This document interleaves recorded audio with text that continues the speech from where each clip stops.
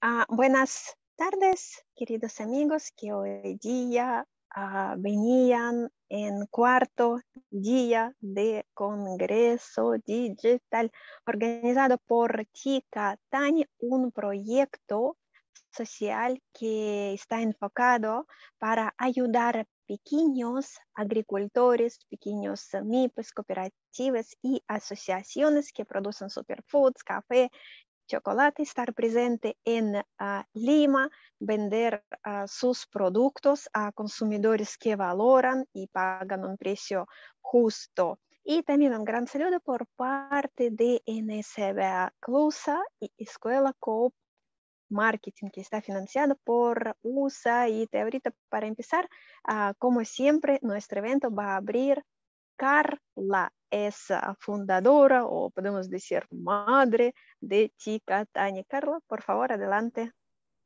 Gracias, Natalie. Sí, efectivamente, pues Chica Tania es, es mi hijo, ¿no? Mi primer hijo. Ya después ya tuve mis dos hijitos que están ah, conmigo, gracias a Dios, con buena salud. Muy bien, muchas gracias a todos por estar presentes. Buenas tardes. Hoy con la camiseta y todas las pilas puestas para que gane Perú. Así que hoy somos Perú, sí o sí con más fuerza, con más ganas, con más empuje, con mucho emprendimiento, como nos caracteriza a todos nosotros que estamos ahorita conectados. El emprendimiento peruano se da a notar. Natalie, gracias por, tu, por la presentación. Como ya lo dijo Natalie, en este Congreso de Emprendimiento, Digitalización y de Vida Saludable, en nuestro cuarto día, vamos a contar con la presencia nuestro amigo Kennedy, que es eh, parte del equipo de Natalie de la NSBA Clusa Perú. Entonces, él nos va a hablar un poquito de todo, de, de, lo que es cómo construir una página web para un público B2B y B2C. Entonces, bienvenido Kennedy, te veo por ahí, Kennedy Monzón. ¿Cómo estás? Buenas tardes. Te dejo, las pantallas son todas tuyas y te escuchamos. Hola Carla, ¿qué tal? Buenas tardes. Natalie, también, gracias. Eh, ¿Qué tal a todos? ¿Cómo están? Quizás algunos ya me conocen, ya vengo dando algunas clases en la NSBA. El día de hoy eh, no les voy a hablar tanto de marketing como les voy a hablar un poquito más del lado de las páginas web. Ya todo lo que pudimos haber pensado, me parece que durante la semana estaba viendo las presentaciones anteriores, hemos visto muchos casos prácticos de cómo estas organizaciones han, vienen trabajando, pero aparte de las actividades operativas, la producción del café, el empaquetado, todo lo que requiere una correcta trazabilidad, también ahora lo han ampliado a través de redes sociales y hoy al menos vamos a ampliar un poco más por el lado de las páginas web. Eh, primera pregunta, si tienen página web o no tienen página web. Por favor, en el chat pueden escribir sí, página web, no página web, ahí como para volver esto un poco más interactivo, conocernos un poco más. A ver, como para, para conocernos aquí. Bueno, ahora, bien, Juan Carlos, por ejemplo, si tiene una página web, bacán, ahorita vamos a profundizar con los detalles. Luis, no tienen, ok, si no tienen páginas web, vayan, vayamos pensando como que el día de hoy los requerimientos y las bases para poder luego construirlo. A veces decimos, sí, queremos una página que tenga 20 secciones. Bueno, cuando no hacemos las cosas por presentar, si no las hacemos por un cliente y tenemos claro quién es nuestro cliente, qué es lo que quiere encontrar en nuestro sitio web, eh, va a ser más común, va a ser más fácil que todos entendamos qué poner en nuestra página web. Muy bien, gracias. Muy bien a todos que están diciendo. Nada, si Aurelia dice que sí, Natalie, por ejemplo, dice, tengo, pero tengo dudas si funciona bien y si me da, me da clientes. Miren, esta es una pregunta, ya diría, a nivel intermedio. Tienes una página web, está muy bien, me encanta, te, felicito, pero lo que más importa es esto, ¿funciona? Y si retrocedemos otro paso, decimos, oye, ¿y qué significa funciona? Me da clientes, Natalie me dio que a ella le funciona su página si le da clientes. Entonces, ¿qué? Yo tengo una página hace un año y medio y todos mis clientes siguen llamándome por teléfono. Es probable, escuchen esto, es probable de que sí te hayan encontrado a, través de tu página web, te hayan encontrado a través de tu página web, pero hay algo que llamamos en la parte de marketing eh, atribución. Nosotros consideramos, por ejemplo, que una persona nos llega a, contactar a, a WhatsApp, ¿sí? y llega a través, digamos, de Facebook, del botón de escríbenos a nuestro WhatsApp. Ya hay otro que dice, no, desde nuestra página web un botón que dice escríbenos al WhatsApp. Ahora, eh, nosotros no sabemos cuando llega la persona al WhatsApp de dónde vino, cómo llegó, qué información lo acompañó. Entonces, para esto van vamos a encontrar herramientas, acortadores y también herramientas como llamamos atribución de datos. Las páginas más avanzadas que ya tienen un enfoque de automatización del marketing aprovecharán mucho estas herramientas. Hoy, hoy día vamos a ver un caso, un caso bastante práctico que está abarcando los dos lados, B2B, B2C. Si están si tienen una, una, página, o bueno, si tienen una empresa y sus clientes han identificado que son otras empresas, la información que ellos van a querer de usted va a ser muy distinta que la información que quiere un consumidor. El consumidor quiere acciones rápidas, quiere reaccionar, quiere, disculpe, quiere accionar y necesita que lo estimule. En cambio, el comprador de una empresa va a necesitar que lo eduque, no que lo estimule, no tanto que lo le dé tips rápidos, que lo sorprenda muy rápido, sino que lo eduque, que, la, que él esta persona que viene por el nombre de una empresa, siempre piensen en esto. El que les compre en nombre de una empresa no lo está comprando porque quiere, está comprándolo porque responde un objetivo, porque se encuentra a la mitad de un desafío. Entonces la página web está a la mitad de esta búsqueda, se encuentra en, la, al medio de la, en medio de la conversación. Entonces, te voy a hablar el día de hoy de un caso que hemos trabajado aquí junto a Natalie y el equipo de NSA, eh, la página de Curimaná. ¿Qué podemos decir de Curimaná? Para empezar, es una cooperativa peruana que ah, trabaja ambos productos, café, disculpen, cacao, chocolate y café. Entonces, ¿qué podemos, si ustedes están en estas áreas al menos, creo que van a poder empatizar. Ahora, preguntémonos esto, ¿estamos vendiendo para la exportación café en grano verde o estamos vendiendo para el consumo peruano café tostado en paquetes de 250, 500 o 20 kilogramos? Entonces el desafío en el caso de una, empresa que tiene varias, varias eh, al menos más de un camino, ¿sí? Eh, el desafío es que no distraigamos a la persona, sino que la apoyemos en esta, en esta búsqueda. Cuando vayan a Internet, no va a buscar quiero café de exportación. No están buscando quiero importar café si es el cliente de otro país. No, están buscando otras cosas como calidades, variedades. Entonces, esta información nosotros lo recopilamos y lo presentamos en el caso de Curimaná. Tenemos dos mercados muy claros, muy definidos, entonces solamente vamos a poner dos botones. Piensen en eso. Si tú tienes una página web, necesito que llenarlo de textos de todas mis ofertas, agregarle un slide, luego cinco menús. No, ustedes quieren que el usuario realice una acción. Quizás esta acción sea que los conozcan. Entonces pondrán un botón de conóceme. Si ustedes no están buscando que los conozcan, están buscando presentar su propuesta, quizás nuestros productos, nuestra trazabilidad, mostrando la confianza, la, la, confianza detrás de la marca. Entonces vamos pensando en esto, ¿no? ¿Qué es lo que quiere el usuario y qué es lo que le va a mostrar?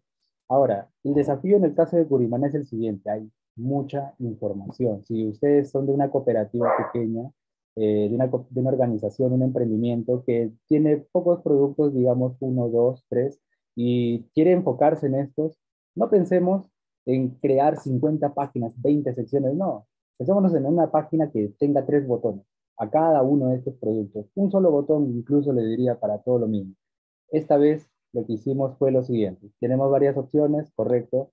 Vamos dándole un botón y un texto, no más, porque tampoco queremos sobresaturar. A veces decimos, no, ofertas, hay que ponerle acá un descuento, por acá una promoción poco a poco, es que hay que conectar con lo que entendemos que quiere el cliente de ti. El cliente quiere saber cuáles son tus certificaciones. Es lo primero que va, es tu primera carta de presentación. Ellos quieren confiar en ti. Y si les muestras fotos en este momento, va a ser demasiado pronto. Ellos quieren saber si son confiables. Entonces, el primer filtro que se trabaja, al menos a nivel cooperativa, es las certificaciones.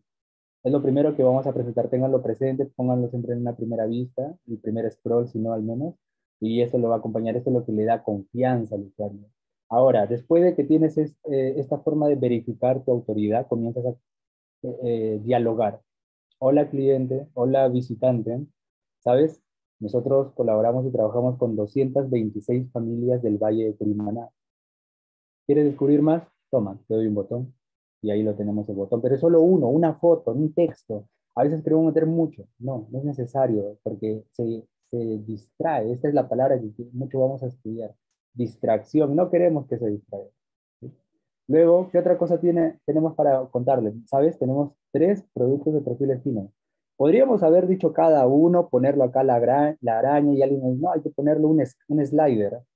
Eh, y acá en vez de que salga esta foto estática, perdón, ¿Se puede? Claro que sí. Hacemos que la página cargue más lento, hacemos que requiera un dispositivo más rápido a la hora de visitar. Entonces volvemos la experiencia más complicada desde el lado de eh, más pesado para el usuario.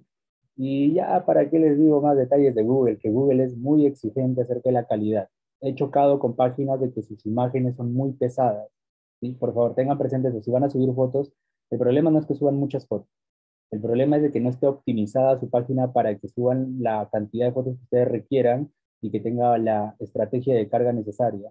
No todas las fotos cargan al inicio, solo se carga lo que se necesita mostrar y eso es algo que ustedes tienen que tenerlo presente cuando vean sus páginas web. Kennedy, ¿por qué mi página está tan lenta? Eh, veamos tus reglas de carga. ¿Estás cargando inteligentemente o estás cargándolo de golpe al usuario desde un inicio? No vamos a ir por la parte técnica, vamos a irnos un poco más por el lado de contenido.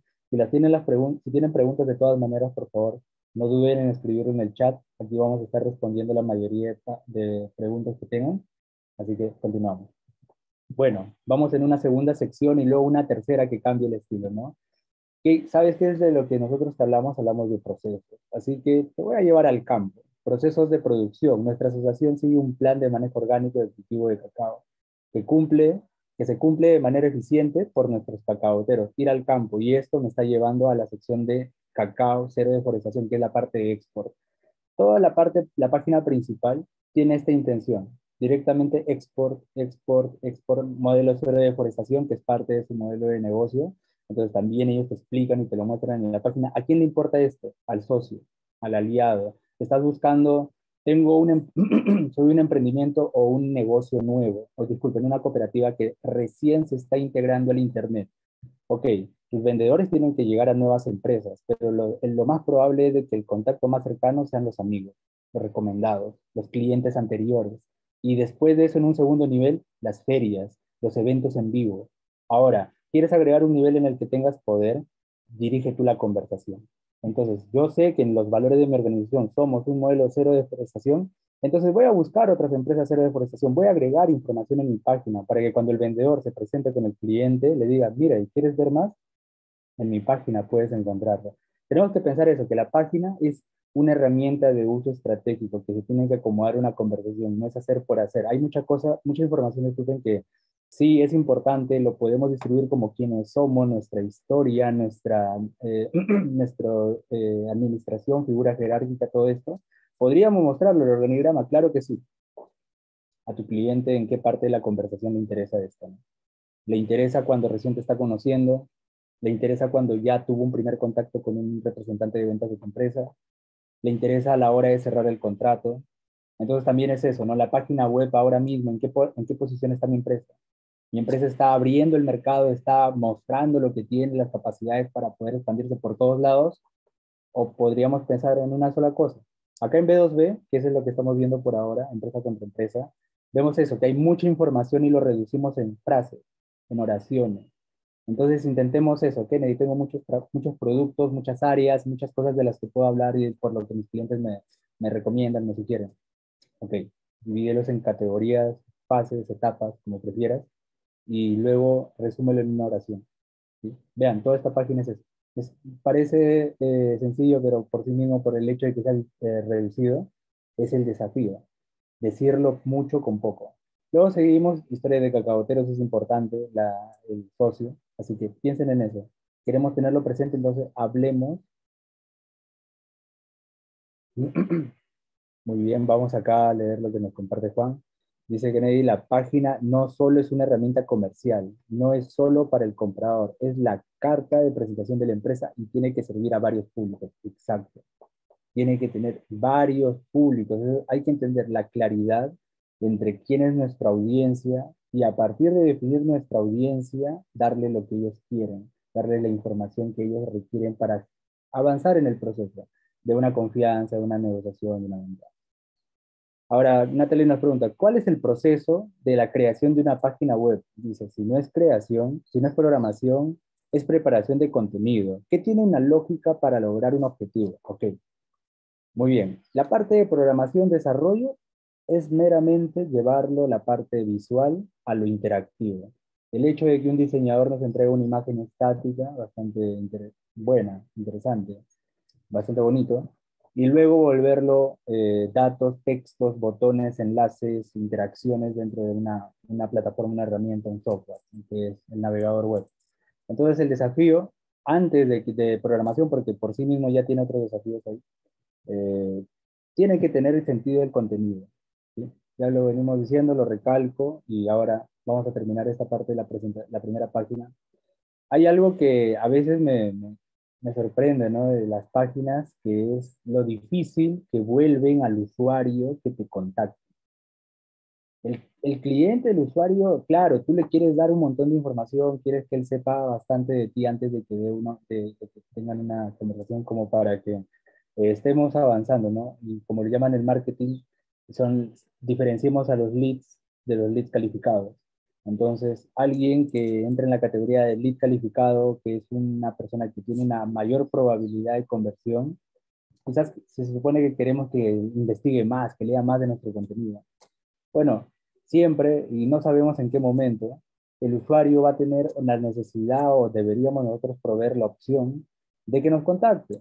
Vean, desde la página principal, pie de página al menos, estamos acá creando contacto, conversa con nosotros. Si quieres si eres alguien que le gusta la formalidad y necesitas generar un seguimiento de tus correos porque probablemente también le reportes en una figura vertical, puedes escribirnos un correo. Claro que sí, pero si no, si quieres hacer, hacerlo esto más directo, quiero hablar con la persona que está detrás de esto, de la organización. Acá, por ejemplo, está el celular, está el WhatsApp, está el email, y a veces incluso lo, lo hacen complicado. El, el, usuario no quiere copiar tu, tu correo, y luego ir acá a la página y agregarte. No, no quiere eso el usuario. El usuario, el usuario quiere darle clic y que automáticamente se abra tu, bandeja de correo con su correo puesto y que tú escribas tu mensaje.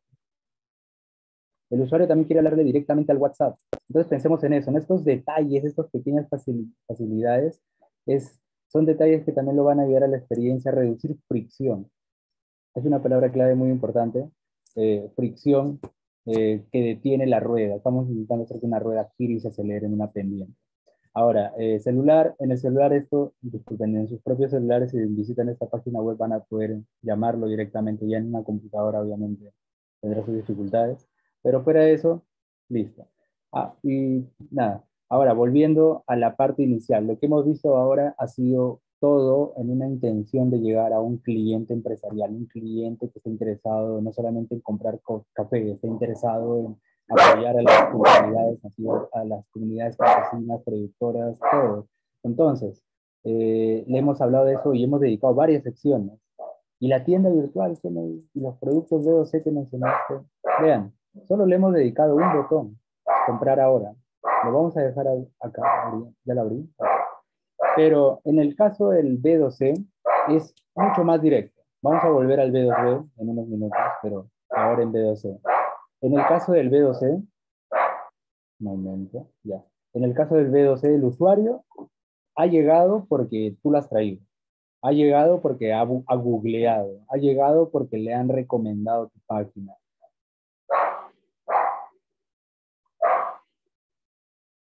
Ok. Eh, una vez de que llegue, ahora lo respondo, Mary tiene una buena pregunta. Eh, el usuario ha llegado a tu página. en el caso de las compras, tenemos que darles el botón inmediatamente. Tenemos que darles, si no, el producto inmediatamente en su primera vista. Y ahora, cuando dejamos estos slides o estas vistas a medias, bien, cuando dejamos estas vistas a medias, es porque queremos dejarlo claro al usuario de que él tiene que bajar. Tiene que bajar, tiene que continuar eh, scrolleando, deslizando, pero antes de que él haga cualquier acción debería tener disponible la opción de que realice una compra, poder ver el catálogo, investigar más acerca de los productos. Entonces lo estamos colocando acá, el orden ahora. Entonces piensen en eso, tu, primer, tu página, si es una página de tienda online, tienes que tener intención desde el inicio. Nosotros no lo hemos dejado ahí. Dejamos un slide de forma automática que llama la atención y no está en primera vista porque en primera vista ocupa demasiado espacio. Pero cuando ingresa acá, ¿qué baja y encuentra? Una promoción. Te estoy dando un motivo para que hagas algo inmediatamente. No te estoy dejando ya tanto de que pienses, de que mira, tengo variedad. Mira, sabes que hay una promoción y las promociones ya, más allá de poner, oye, 70% de descuento, disculpa, o 20% de descuento, más allá de decir un número, un tiempo, lo que tenemos que pensar es en las características de marketing. Eh, vamos a pivotear, como ven, de desarrollo a marketing, disculpen, de diseño y contenido a marketing bastante. Entonces, lo que hay que entender en marketing es, la, en el caso de la promoción, eh, qué objetivo o qué problema soluciona de forma inmediata y luego en el mediano plazo. Si el usuario está hablando de promoción, promoción es algo de tiempo, de temporalidad. Piensen ustedes en eso, no solamente le voy a meter, le voy a eh, poner a mi página botones y una foto y que ya sí o sí me va a comprar. Tenemos que jugar con el término de urgencia. Esta promoción es por tiempo limitado, es por esta temporalidad. Y a partir de eso comenzar a implementar la página con contenido que te ayude a, a vender. Las páginas, como bien dijeron, no son directamente o 100% sola, o solamente para ventas, pero si eres B2C, tu página es para vender, para reducir el tiempo de, que, de un trabajador del área de ventas y aumentar la, la cantidad de ingresos. Esa es una tienda virtual, automatización al máximo. Ahora, antes de continuar, Mary tenía una pregunta. Una tienda virtual de plataformas gratuitas o una página web. ¿En qué consiste la inversión económica para cada una? Vean, el caso que estamos viendo ahora mismo es una página web, tal cual, es una tienda y esta, este sitio web, este sitio web tiene distintos sistemas, distintas propias eh, plataformas internas que hemos integrado. El sistema de comercio electrónico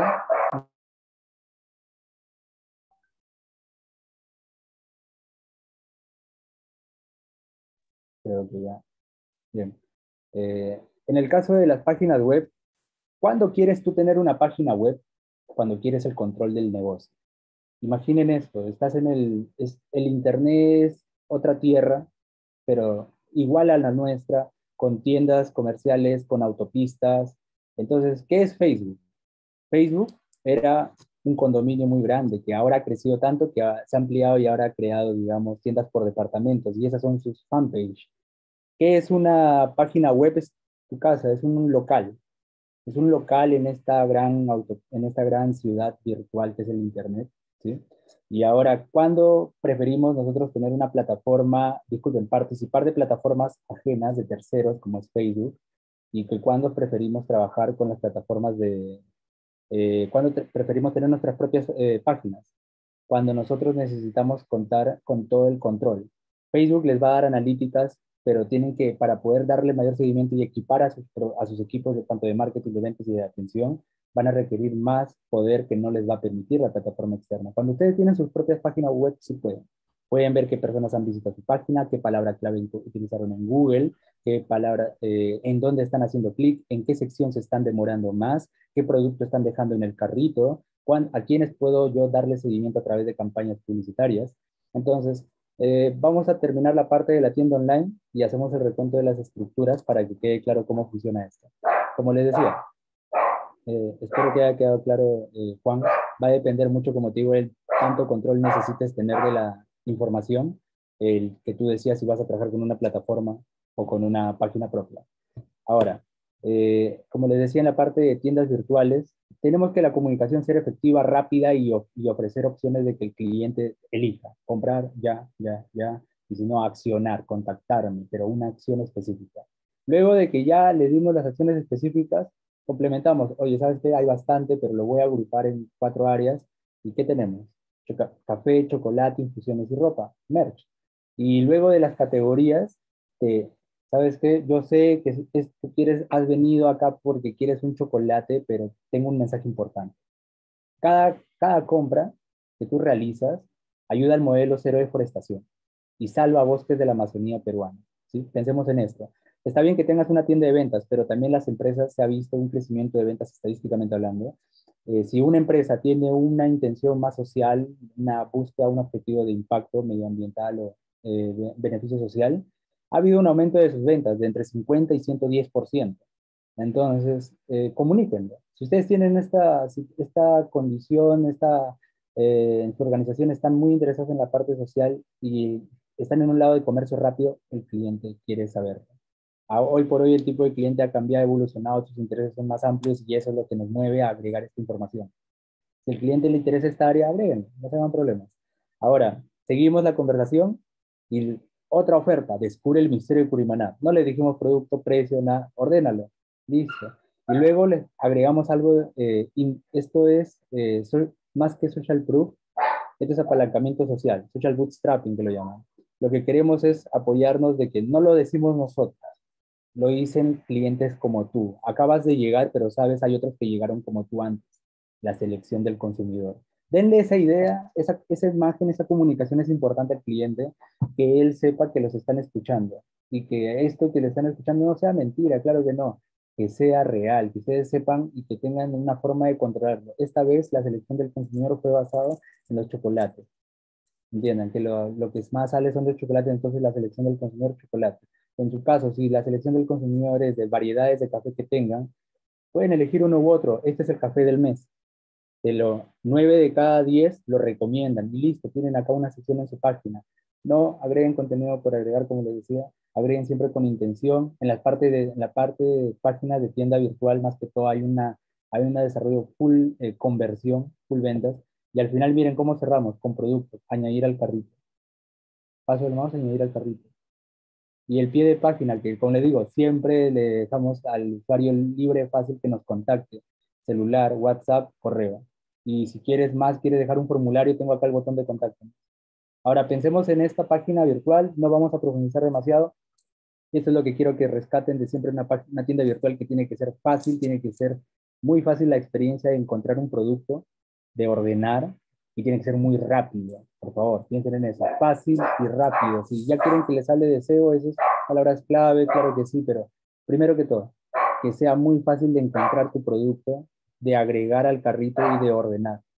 Piensen en eso, acá está su carrito, tiendas virtuales. Y nada, básicamente es esto, las tiendas virtuales en su proceso son muy similares unas de otras. Si ya vamos a hablar de experiencia de usuario, vamos a entrar en demasiados detalles. Sí, y ahora para terminar, lo que les decía de la parte B2B. Hay mucha información que ustedes pueden tener. Pueden tener bastante, pero, y lo pueden intentar reducir así, ¿no? Como, oye, ¿sabes qué? Tengo tres productos perfiles y todos estos botones los mando a WhatsApp porque intentamos ser rápido, lanzar esta página, digamos, en una semana. Y en vez de desarrollar todo el texto, ponemos frases y ponemos botones. Como les decía, esto, ¿qué, ¿para qué quieres tu página? Porque quieres reducir el tiempo de conversación. Si tú sabes que tienes tres productos de perfiles finos, pero en el inicio no tienes, digamos, el tiempo presupuesto, el espacio o las fotografías adecuadas de tu producto, vas a mandar un vendedor. Este botón te llevaría a WhatsApp. Pero ¿qué pasa cuando ya tienes la información recopilada? ¿Qué pasa cuando ya has recopilado, tienes una buena documentación y lo que sí ahora es presentarlo? Bueno, lo vamos a ver ahora en la página de acá. En la página de Cero Deforestación. Ah, disculpen. Esta es la página B2B de Curimana, donde presenta todo su modelo de negocio. Y lo primero que vemos es cacao peruano, cero deforestación. Títulos, palabras clave, ya les había dicho. No estamos buscando solamente que nos compren el cacao. Buscamos gente o empresas, disculpen, interesadas en un modelo de negocio, impacto medioambientalmente responsable, que le importen las personas. Y ahora, cultivando con orgullo en las cálidas tierras de la selva de Ucayali. Es un buen subtítulo. No es bueno solamente porque, ah, me gusta, no. Dejamos claro algo, ¿sabes? Para nosotros el número uno es el modelo cero de deforestación. No importa si estamos acá o estamos de viaje donde tú estés, a nosotros nos importa salvar el medio ambiente. Pero somos, somos de nuestra tierra, somos locales y somos orgullosamente nacidos de las tierras de la selva de Ucayali. Entonces piensen en esto acerca de la comunicación. No, no dejen de lado esta esencia de quiénes somos. A veces queremos hacer un texto y queremos ponerlo bien grande, pero hay prioridades, por eso les mencioné los valores. Hay que entender por qué motivo estamos, aceptando o estamos conectando con estas, empresas. Luego mostramos lo que ellos quieren saber. Nuestra fin, en las fincas de nuestros socios aplican el modelo cero de deforestación que permiten ¿Por qué tanto hacer deforestación? Porque protegemos los bosques, porque aumenta la productividad y reduce la emisión de gases de efecto invernadero. Entonces, si esto es importante para sus socios, sus aliados, lo va a ser importante, es importante que lo comuniquen. Luego ya desarrollen y preséntense. Ok, mira, ya sabes en lo que estamos enfocados. Esto es lo que somos. Somos el Comité Central con Desarrollo al Futuro de Curimaná. Esta es nuestra ciudad y esta es un poco de nuestra historia. Te puedo contar más de nuestra misión y nuestra visión, pero sé que al igual que es importante que sepas qué es lo que hago hoy y hacia dónde voy, tú también quieres saber con, con quién vas a trabajar. Tengo estas hectáreas, 4.000 hectáreas, tengo estos árboles de sombra por hectárea, tengo esta oferta exportable, tengo estas coordenadas geográficas y qué llamamos a esto es ficha técnica.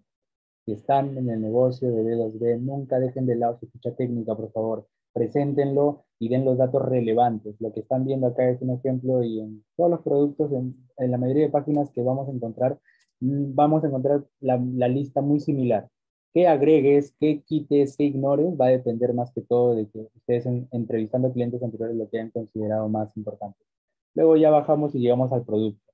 El producto no solamente es café premium, disculpen, es primana premium, no. Es un producto que tiene un puntaje de aroma de 2, de 3 y de acidez 1, 2.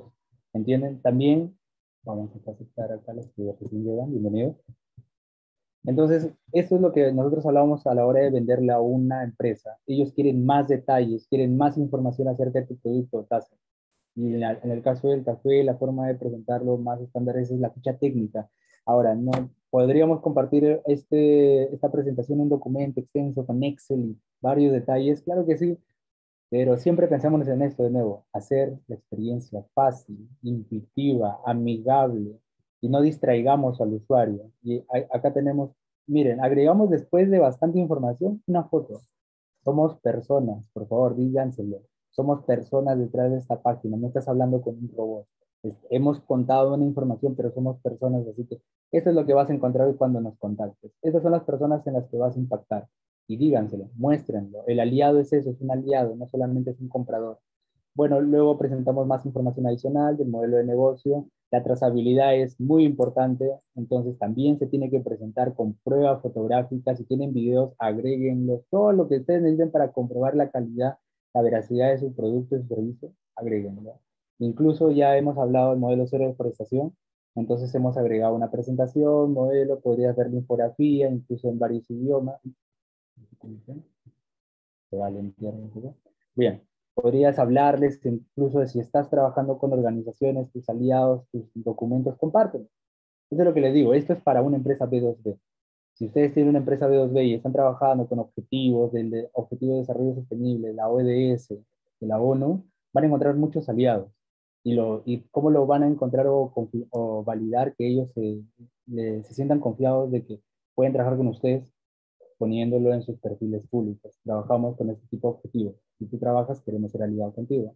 Habríamos hablado de que para Curimana es importante la historia de sus socios, de los caseríos. Entonces acá lo compartimos. Como les digo, no se todas las páginas no son iguales, todas las páginas se tienen, lo que sí tienen, deben tener por similar, en común, es de que se trata del cliente. Se trata de lo que el cliente quiere saber de ti. Acá miren, ya estamos metiéndonos como ya, si el cliente llegó hasta esta parte, vean cuánto contenido le hemos dado, ya tenemos atención. Entonces, ¿sabes qué? Te voy a contar un poco más de Curimana.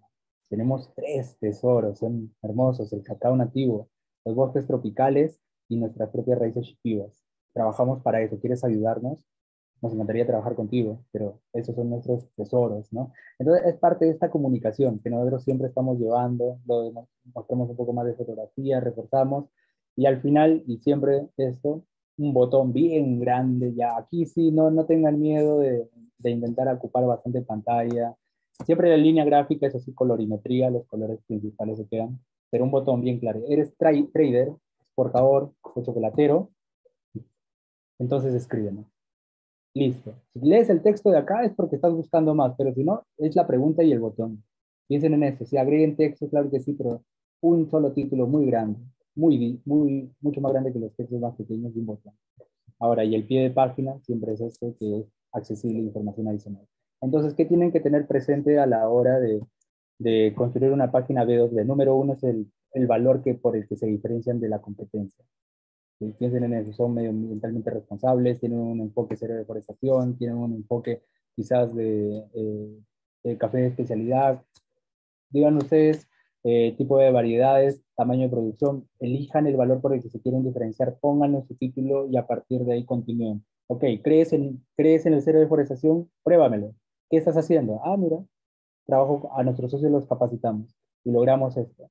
Ah, ya trabajas en el otro tipo de producto, digamos en chocolate, y estás utilizando economía circular para la recuperación de todos los residuos, para tener otro tipo de, de productos, productos secundarios comunícalo, estamos en economía circular. Entonces, este tipo de información es lo número uno. Y luego de que ya comunicas el valor con el que vas a empatizar y diferenciarte con las empresas, empiezas tú a presentarte, ingresas tus datos técnicos en números puntuales, tus productos y luego la información adicional que ya agrega más veracidad acerca de lo que tú estás haciendo. Ahora, ¿esto es la regla? No, claro que no. La única regla, disculpen, la, la única regla que tenemos todos acá es que tenemos que experimentar. Si no experimentamos de forma independiente, independiente, eh, todas son sugerencias. Hay incluso copy, copywriter, redactores creativos que tienen su propia técnica que es el copy mínimo viable. Y te hablan de una propuesta de valor, prueba social, luego una, eh, una referencia y al final eh, lista de servicios y productos a, presentación de manera de selección. Disculpen si los confundo demasiado. Eh, lo que tenemos que entender es que cada experto, cada gurú va a intentar decirnos su propia, su propia perspectiva, su propio orden. Lo que ustedes tienen que entender es que número uno es el cliente, número dos es el cliente y número tres es el cliente. Así que, nada, creo que es todo por hoy por mi, por mi lado. Muchas gracias, Andrea, por su tiempo. ¿Hay alguna pregunta? Me encantaría responderles acerca de las páginas B2B, B2C. En B2B vean que estamos empatizando, educando, mucha información, muchos gráficos, hasta Excel. Y en el B2C estamos yendo directo a la acción. Compra, tenemos la oferta, tenemos la promoción. Natalie, sí, por favor.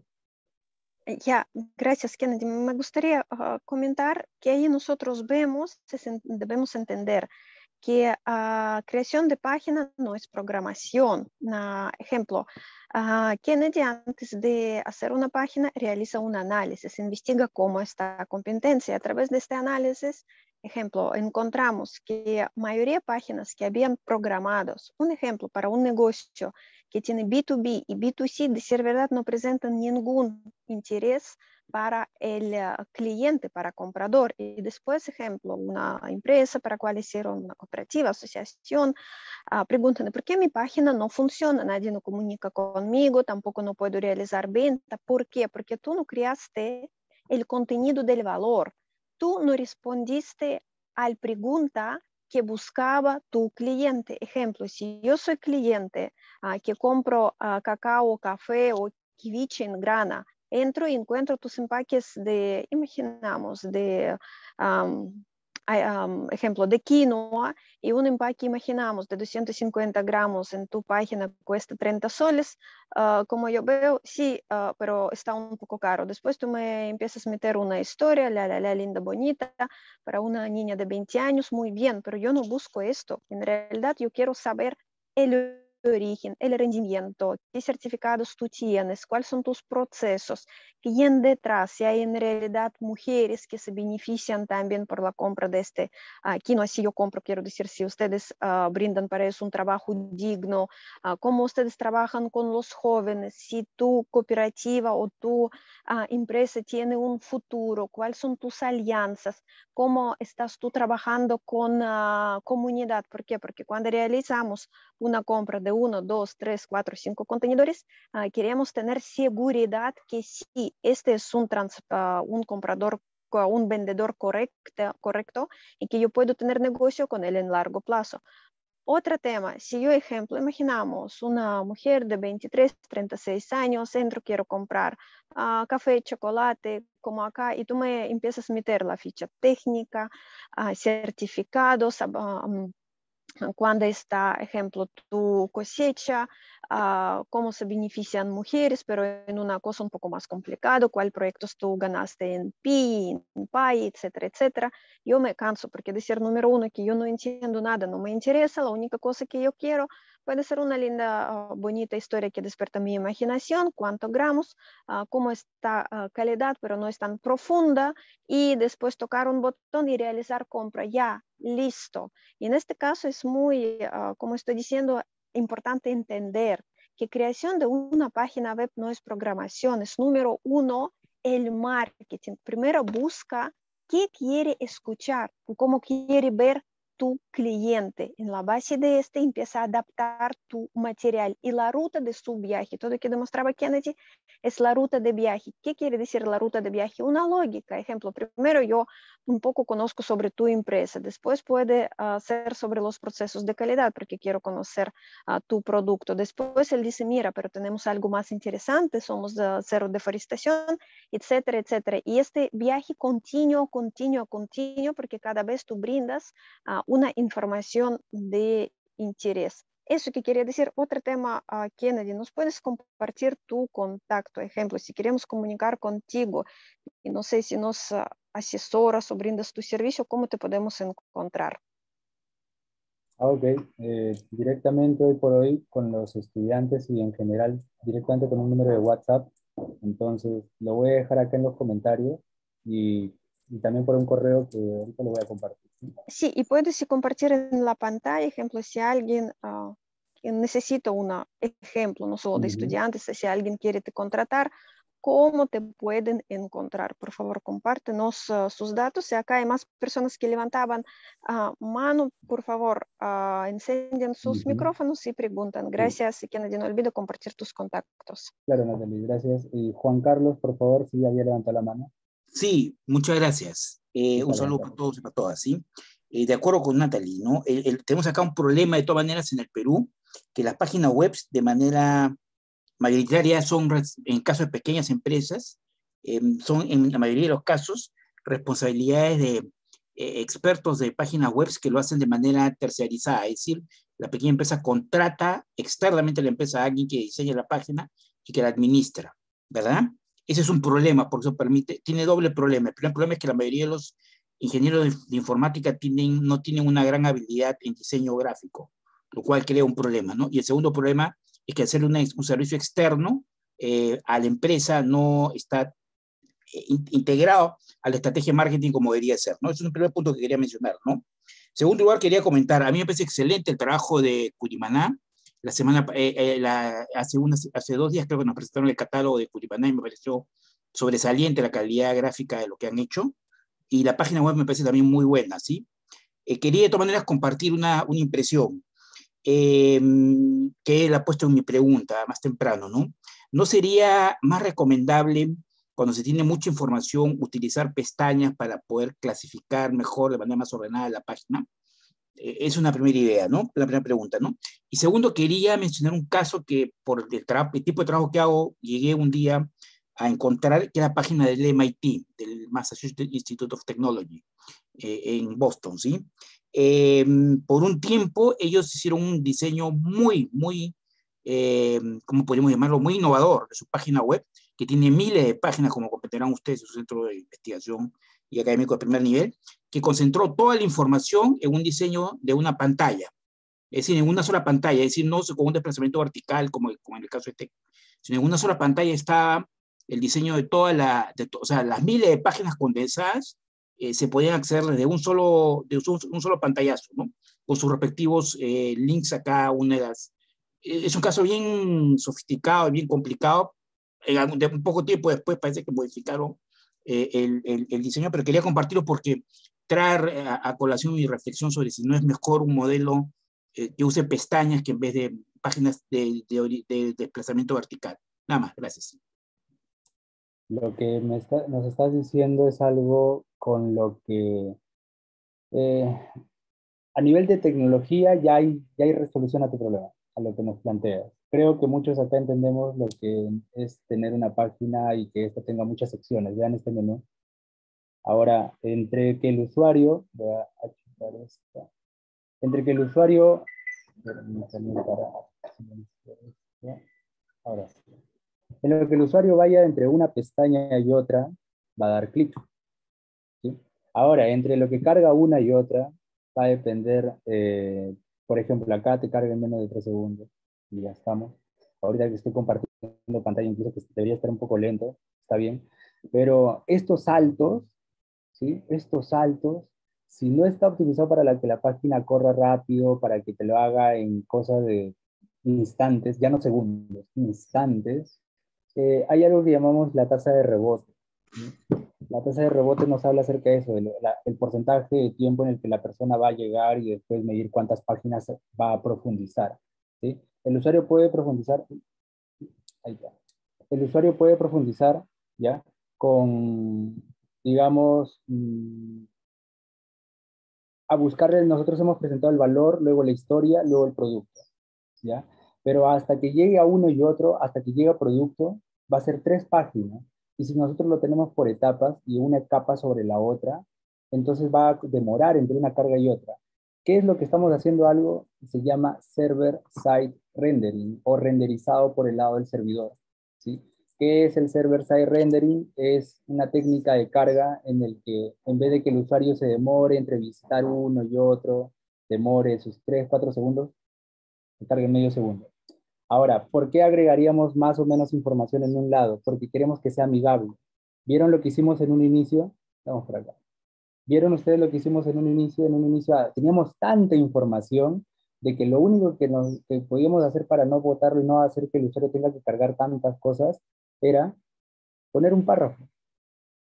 Un párrafo y un botón. ¿sí?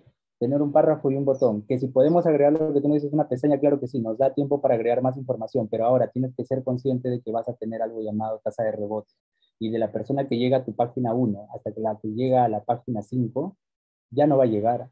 ¿Y cuánto va a tener todo ese rebote? Es muy probable que baje 80% en la primera y de ahí poco a poco, y de ahí poco a poco comience a perderse a tal punto de que eh, no tengas control de cuántas personas llegan hasta tu, disculpa, no logres cerrar, no logres cerrar la conversión hasta la última visita, ¿sí? y ahora te exige a ti agregar sistemas de, de, seguimiento paso a paso para los usuarios. Y aparte de exigirte instalar el sistema, es entender el sistema para que le comiences a dar seguimiento. Entonces, sí, lo que tú nos dices es muy importante, podríamos hacerlo, pero va a aumentar los requerimientos del equipo. pensemos en este, el balance del desafío de una página requiere también del lado de administrativo, como, como herramienta que es, no va a quedarse abandonada, sino que también va a estar por el lado utilitario del área administrativa Sí, por favor. No solo desarrollo, disculpen, sino el lado administrativo. Natalie, creo, eh, quería agregar algo. Ah, sí, acá hay una muy buena pregunta y excelente. Mary Cuello pregunta, ¿cuánto cuesta tener una página web como Corimana? Ahí muy importante entender que la página que ahorita veas es como un vaso, un vaso de buena calidad, un vaso de cristal, pero que líquido tú pones es otro tema. ¿A, qué yo refiero? Que, ejemplo, ahorita que ustedes ven en la página Curimana, son, aparte si ustedes van a leer, ejemplo, historias, historias bien desarrolladas un año atrás. Introducción para que el cliente uh, encuentra, que busca es otro tema. Nosotros llamamos, exacto, en nuestra agencia como marketing de contenido. Nosotros debemos, ejemplo, conocer el cliente, qué palabras él usa, uh, qué información dar para que él te quiere conocer. Otro tema son diseños gráficos. Si usted acá, ejemplo, vean, acá hay buena gráfica, ejemplo de chocolates, además ilustraciones, ejemplo de hojas de cacao, etcétera, etcétera. Es otro tema, es otro costo. Y solo al final, ah, y al final, ah, también fotografía, para esta parte había desarrollado una fotografía que tienen una filtración para llegar a una identidad y solo al final programación. Programación, ejemplo, es muy importante, call action, etcétera, etcétera, todo que este explicaba, ejemplo, Kennedy, pero este no es uh, el costo de una página. Ejemplo, ahorita podemos demostrar una página, COCLA, el costo de cual uh, promedio vamos a ver 2.500 soles, pero muy importante entender que esta página si tiene valor, no es porque tú ve, no es solo como había uh, programadas, también para historia. Si ustedes acá entran, pueden encontrar interesante historia, también recopilación de los datos, también uh, fotografía. Entonces, este es el proceso detrás. Por este, que nosotros sugerimos, si ustedes quieren crear una página y no tienen presupuesto para contratar, ejemplo, a una persona que te va a trabajar en marketing contenido, puede ser uh, en una fotografía, en un vídeo, empiezan ustedes primero en mismo crear este contenido, crear historias y después pueden contratar un programador o exacto, pueden contratar estos servicios, pero deben entender que cada servicio te presenta un producto y al final todos estos, ejemplo, uno, dos, tres, cuatro productos pasan a página web. Como yo explicaba, página web es como un vaso, un vaso de plástico, puede ser un vaso de cristal, puede ser un uh, vaso de metal, de madera, exacto, tiene diferentes uh, uh, precios, tiene diferentes tipos de materiales, pero que va a estar de vaso es otro tema, como ejemplo, gaseosa cuesta menos que un whisky de 10 años o una cerveza Brahma, un ejemplo, cuesta menos que kombucha, kombucha si no me equivoco, sí, kombucha. Entonces, de este depende el precio. Y Kennedy, puedes, no sé si nos mostrar más unos ejemplos, es decir, promedio, cuánto cuesta, porque es, es en realidad es buena pregunta. Uh, también cuando demuestro nuestros trabajos, yo también siempre quiero saber cuánto cuesta para más o menos tener la idea. Y cuando nos dan respuesta cuánto cuesta, claro. como te eh, dices, ah, ya, yo quiero. Pero puedes nos no. demostrar más o menos decir los precios. Gracias. Claro, o sea, cada, cada proyecto es único por, por varias cosas. Lo que tú ya mencionas puede ser desde el copy, el diseño, el desarrollo. Eh, vamos a tener presentes varias, bastante información, pero antes de la página, que yo les comentaba esto que es muy importante. La página es un recopilado de información. Ustedes ya, ya tienen. Entonces, la fotografía que estamos utilizando, esta fotografía puede ser de hace un año, hace un año y medio, pero tiene que ser muy, disculpen, me estaba compartiendo. Puede ser fotografía de, como les digo, de hace un año, de hace tres meses, de hace una semana. Puede ser una sesión fotográfica solamente hecha para, la, para el sitio web, pero todo gira alrededor de sus productos, de su oferta, de la información que ustedes dispongan. A veces vamos a poder reemplazar eh, la fotografía con textos, con ilustraciones, y se dan cuenta que cambió la de responsabilidad de contenido a diseño. Y cuando diseño tenga algo muy bonito, pero que ustedes necesiten que tenga una experiencia interactiva, ahí recién desarrollo llegará a tener un poco más de relevancia, el agregar estos efectos de entrada, de salida. Por ejemplo, eh, recién hemos entregado un momento acá. Esta es una plataforma, esta es una página, por ejemplo, que incluye de perfil profesional y, plata, y una plataforma. Combinamos los dos conceptos, pero en la presentación, la combinación de elementos, de cómo esto se presenta, cambia. Desde cómo va ingresando la información, cómo interactúa el usuario, como pueden ver las flechas, la información. Cada tipo de página Ahí está. Eso es por, lo que estoy compartiendo, suyo. Pero cada página va a depender en sí del desafío, de la información, de los recursos que ustedes dispongan, del interés ¿no? que tengan, qué tipo de información quieren tener, qué animaciones. Eh, podemos pensar en una página de aterrizaje bastante simple, de los 1200, 1500, hasta proyectos corporativos de varias secciones, múltiples páginas, como pueden ver acá, proyectos, fondos, y hay algo más que a veces nos olvidamos y esto a veces lo, lo converso con diseñadores.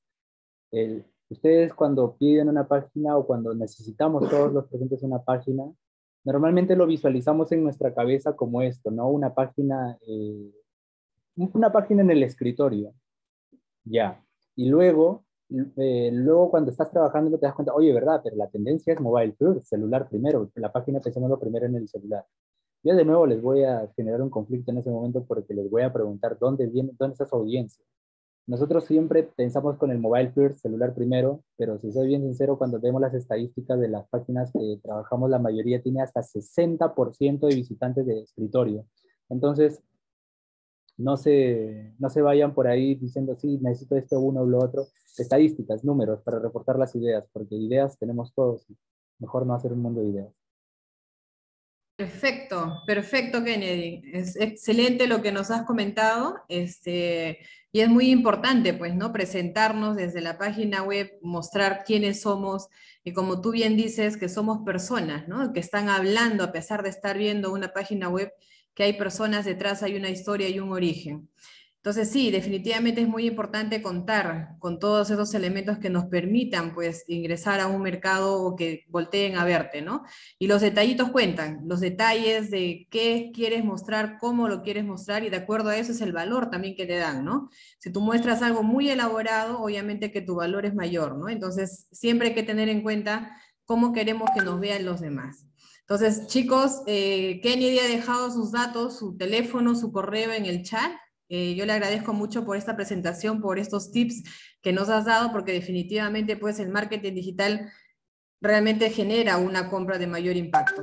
Entonces, gracias Kennedy, te invitamos de todos modos a estar por acá por Ticatani cuando tú desees y conversar más a profundidad y que también nos puedas dar los tips de manera directa. Así que estás cordialmente invitado para que nos puedas visitar cuando tú desees. Claro, muchas gracias Carla por la oportunidad y nada. Gracias.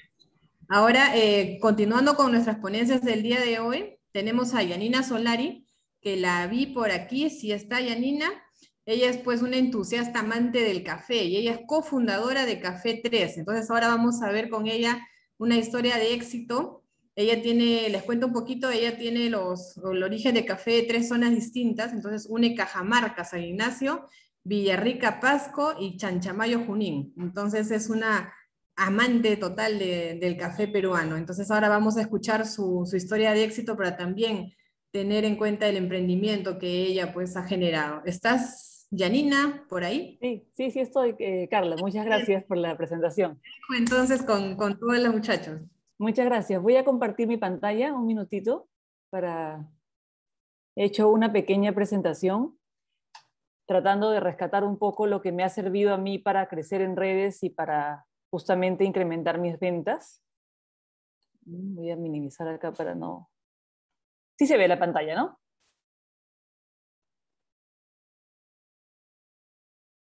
Sí, sí se ve.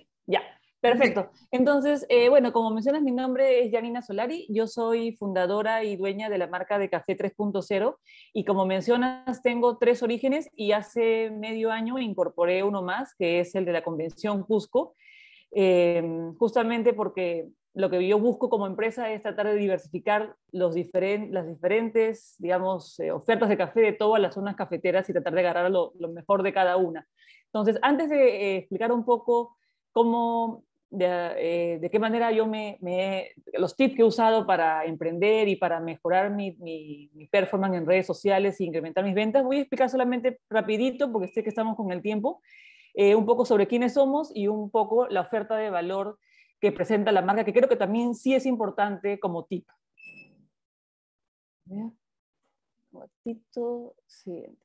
Entonces, en realidad somos un negocio familiar, bueno, chico, porque eso es, eh, soy yo y mi esposo, que bueno, no está aquí presente, y somos, como dices, entusiastas del café, siempre nos ha gustado antes de pandemia, y bueno, y ahora ya estamos haciendo un poco más, visitar cafeterías, tomar, eh, conocer un poco del café, conocer un poco sobre sus procesos, y también eh, un poco también de lo que hay detrás de cada taza, ¿no? O sea, conocer un poco la historia detrás, el productor, etcétera, porque creo que eso también te conecta bastante.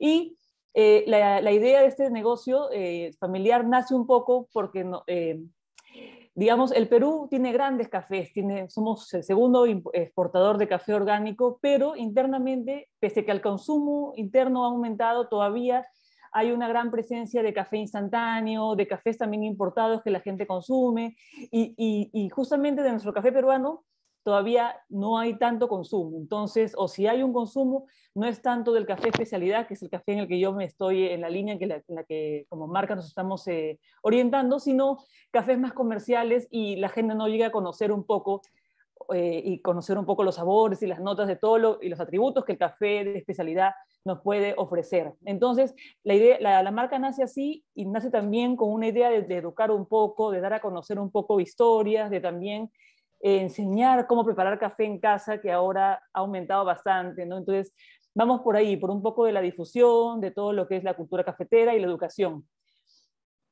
Aparte, obviamente, de vender, ¿no? Que es la, siempre es como todo negocio, tienes que generar ventas. Y lo otro es un poco nuestro valor diferencial, ¿no? Yo siempre pienso que un, ahora hay tantas, tantas marcas, ¿no? Tantas marcas de café que han salido y en general en todo tipo de productos, ¿no? El cacao también está lleno de marcas. Entonces, ¿cómo te diferencias o qué es lo que realmente hace que las personas también te compren, ¿no? O sea, ¿cuál es tu valor diferencial en cuanto a otras marcas? Y yo me he enfocado mucho como empresa en lo que viene a ser el trato personalizado y la personalización de, también de tu producto o el producto que tú vas a comprar, ¿no? O sea, primero que siempre ofrezco un café fresco, yo siempre trato de vender cafés que han sido tostados durante el mes, trato de no estoquearme, por eso siempre es en pequeña demanda y voy incrementando la cantidad de café o lo que voy tostando en base al incremento del, también de las ventas, ¿no? cuántos clientes voy teniendo, que va, obviamente requiero tostar más. Entonces trato de nunca estoquearme porque creo que perdería un poco la idea de la marca, ¿no? que es, es, el tema del café fresco. Lo otro es el servicio personalizado, como te menciono. Yo trato de siempre de, cuando le vendo a alguien, cuando alguien me contacta, no es tanto solamente vender el producto y, digamos, cerrar la venta, sino conocer un poco más, saber qué tipo de café le gusta, saber qué tipo de cafetera tiene, para un poco así ir perfilando sus gustos y en base a eso yo poder ofrecer eh, más o menos el perfil según lo que yo tengo que le puede gustar, ¿no? Y después, obviamente, puede ir conociendo a los demás, pero me gusta como que dar un poco más, ¿no? Ya sea, sea una persona que recién entra y tal vez no me compre, pero igual al final siempre trato de, de, conocer un poco al cliente desde el inicio. Lo otro de nuestra oferta de valor viene a ser todo lo que tiene que hacer con el café orgánico. Nos estamos yendo a esa línea, cafés que son cultivados eh, de manera ecomigable con el medio ambiente. Y obviamente tenemos eh, eh, el tema de los orígenes, porque lo que deseamos es diversificar. Y también tratamos de, de, contar un poco la historia del productor. No lo hemos dicho todavía mucho, por el, tema de la pandemia dificultaba un poco el tema de los de salida a campo y lo que sea, pero este año estamos tratando de todas maneras de, conectar un poco con el productor y, también contarle un poco al, a nuestros clientes la historia detrás. ¿no? Entonces, ahora sí voy a hablar un poco de los tips y si voy muy rápido me avisan porque yo tiendo a hablar demasiado rápido y no me doy cuenta. Pero bueno, lo primero que uno debe hacer, o por lo menos yo lo he hecho y me ha funcionado mucho, es definir quién es mi público, ¿no? Hacia quién le quiero yo vender. Y esto no solamente tiene que ver con tema de edades, sino también el tema de comportamientos, conocer todo sobre digamos, desde, la, desde que la persona se levanta hasta que se acuesta, qué hace, cómo es su rutina, a dónde va, a quiénes sigue, qué tipo de información consume, eh, cuáles son sus necesidades puntuales, etc. Y eso es lo que eh, creo que es el, lo primero que uno debe, eh, digamos, investigar para poder después ver qué ofrecer, ¿no? qué tipo de contenido en, en, especial uno va a ofrecer, cómo va a comunicar, dependiendo obviamente las, la, el rango de edad o el tipo de personalidad para poder, ¿cómo se llama al final? Conectar con esa persona. Entonces, eso sería, digamos, el primer punto que uno debe tener en cuenta para luego después ya pensar un poco en qué red social te vas a mover, ¿no? Lo otro, como les decía, es eh, investigar y conocer sobre el tema. O sea, acá tiene que volverse un experto. O sea, si uno, yo por ejemplo, soy una apasionada del café, pero no me puedo quedar simplemente en ser una apasionada, no tengo que investigar, tengo que educarme, tengo que leer, tengo que, si es posible, comenzar a estudiar temas sobre, no solamente sobre, sobre café, sino en algún momento tendré que conocer un poco de tostado, tendré que conocer un poco más de barismo, para yo así poder ofrecer un mejor servicio ¿no? de valor a las personas que llegan a, mi página, a mi, en este caso al Instagram y al Facebook, que son las 12 eh, los dos canales sociales que más uso. También tenemos eh, TikTok, pero todavía eh, de una manera incipiente. Y también tenemos una cuenta de YouTube, pero solamente la hemos creado. Todavía no he puesto mucho esfuerzo en ese tipo de canal. Me estoy focalizando más en el Instagram, en el Facebook. Entonces yo creo que investigar te ayuda, primero no solamente a crear contenido de valor, sino que también te, te ayuda a ti como empresa a tener confianza de que lo que estás difundiendo, lo que estás enseñando, es, ha sido obviamente revisado en fuentes eh, eh, eh, oficiales, confiables, y no estás, como se llama?, desinformando, ¿no? Lo peor que uno puede hacer en redes sociales es desinformar, ¿no? O sea, si uno no acude a las fuentes, si, si simplemente buscas en Google y no entras a las páginas adecuadas, pues puede al final eso rebotar en contra de tu negocio, ¿no? Entonces es importante investigar y volverse un conocedor en el tema. Si alguien tiene preguntas, yo a veces no leo el chat, pero eh, me pueden interrumpir. No hay ningún problema. Luego, algo que, nos ha, que, bueno, que, me ha, funcionado mucho eh, para el negocio, para el emprendimiento, es tener una especie de mix de contenidos y formatos. ¿A qué me refiero en, este punto? Lo que se trata de hacer es no solamente enfocarse, digamos, en post básicamente de ventas o de publicidad, sino de generar, por ejemplo, contenidos un, poco después, o sea, un poco teniendo en cuenta lo que uno ha descubierto sobre su público, ¿no? Por ejemplo, recetas, tips, hasta algo también eh, divertido, memes, frases, información técnica, información también de la marca para que también las personas nuevas que van entrando vuelvan a conocer, o sea, puedan en el corto plazo conocer un poco sobre la marca, sobre lo que ofrece, sobre su valor diferencial eh, siempre de una manera muy clara, ¿no? También obviamente poner promociones y también información de los productos. Ese mix de contenidos yo creo que es súper útil porque te, te da primero frescura, te da, ¿cómo se llama? te hace ver como una, una, marca dinámica que no solamente se preocupa en ventas, sino que también se está preocupando por darte información útil que te puede ayudar a ti como consumidor a preparar mejor tu café en casa, ¿no? a tener una buena experiencia y a tener un espacio tranquilo cuando te preparas tu café, relajarte y hacerlo digamos, con los conocimientos adecuados. Y haciendo ver que preparar café de especialidad no tiene, que ser, no tiene que ser difícil, sino que es una experiencia distinta, que tienes que descubrir un poco los aromas. Entonces, este tema de conexión es muy importante. Y también, obviamente, un mix de formatos, ¿no? No solamente post de imágenes, sino también, por ejemplo, videos, reels, hacer encuestas, eh, hacer historias, transmisiones, tratar de usar todas las herramientas que te da la red social para poder sacar el mejor provecho. Por ejemplo, ahorita de verdad funcionan mucho los reels. Yo mm, cuando recién entré no los usaba mucho en este negocio. Y después me comencé a dar cuenta de lo importante que es hacer reels y de también dar la cara, ¿no? De ponerle una, de humanizar un poco la marca sin que la marca pierda su identidad, ¿no? O sea, uno sale eh, en estos reels explicando sobre café, contando un poco la experiencia, y eso ayuda a que te conectes mucho con tu público, ¿no? Entonces, e, es, muy importante tener en cuenta eso.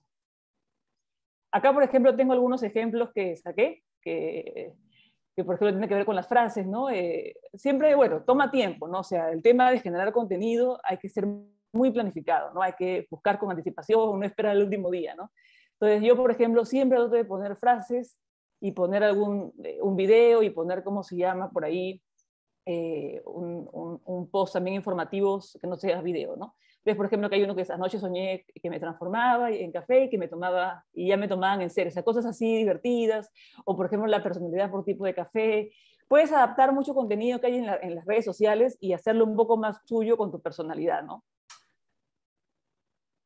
Acá, por ejemplo, son ejemplos de post informativos, porque ya hay muchas personas en el mundo del café que les gusta tomar café, que han iniciado en este, en este mundo de, digamos, de coffee lovers y comienzan a comprar sus molinos, entonces quieren saber cuál es el mejor molino para poder iniciarse en casa con un molino manual. Entonces es bueno siempre ir escuchando un poco qué es lo que está queriendo tu público, tu audiencia, y ir, como se llama, direccionando tu contenido de acuerdo también a un poco las demandas de tus consumidores. Aquí, por ejemplo, es importante el tema del tono de comunicación. Es, siempre, es, muy importante que uno pueda escribir y comunicar de manera cercana. O sea, yo creo que acá el tema de la empatía, de generar empatía, de no, no, no, no aparecer como una marca que conoce todo y tú no sabes, sino más bien realmente estamos aprendiendo juntos. Te estoy enseñando, tú me puedes dar feedback, o sea, que vea que hay una cercanía, por lo menos eso me ha funcionado a mí como marca para posicionarme un poco en la red social. Entonces, tratar de conectar con tu comunidad, usar un lenguaje sencillo. A veces uno quiere poner frases muy complejas, ¿no? O de frente hablar sobre, no sé, por ejemplo, que el café está subextraído o el café está eh, sobreextraído. ¿Qué significa eso? O sea, hay que hablar con palabras sencillas, ¿no? Por ejemplo, si quieres hablar sobre sobreextracción, puedes hablar diferente y decir, mira, si tú dejas tu café por mucho tiempo en preparación, se va a sobreextraer. Entonces ya se está entendiendo a qué, se refiere sin necesidad de iniciar con la palabra más compleja. Y así vas educando y vas haciendo que las personas se den cuenta de que eh, el mundo del café de especialidad no es complejo y te puedes animar a comprar. Entonces siempre tratando de, llegar a través, de, digamos, con información y con cercanía a la compra final. Siempre es importante, por ejemplo, tratar de cerrar eh, cualquier publicación, cualquier eh, post que uno haga con una llamada a la acción. Por ejemplo, si estás hablando sobre un origen en particular nuevo que has ingresado, ¿no? Por ejemplo, acabo de lanzar un Pacamara. Entonces, puedes hablar sobre Pacamara, sus beneficios, por qué te gustaría, por qué deberías eh, adquirirlo y al final puedes poner, te gustaría conocer más, cosas así, cosas que sean preguntas directas hacia una persona. No siempre es bueno hablar y te gustaría o sabías que, siempre de manera cercana, ¿no? Eh, por ejemplo, aquí hay algunos eh, posts que puse con algunas interacciones para que vean un poco sobre las estadísticas.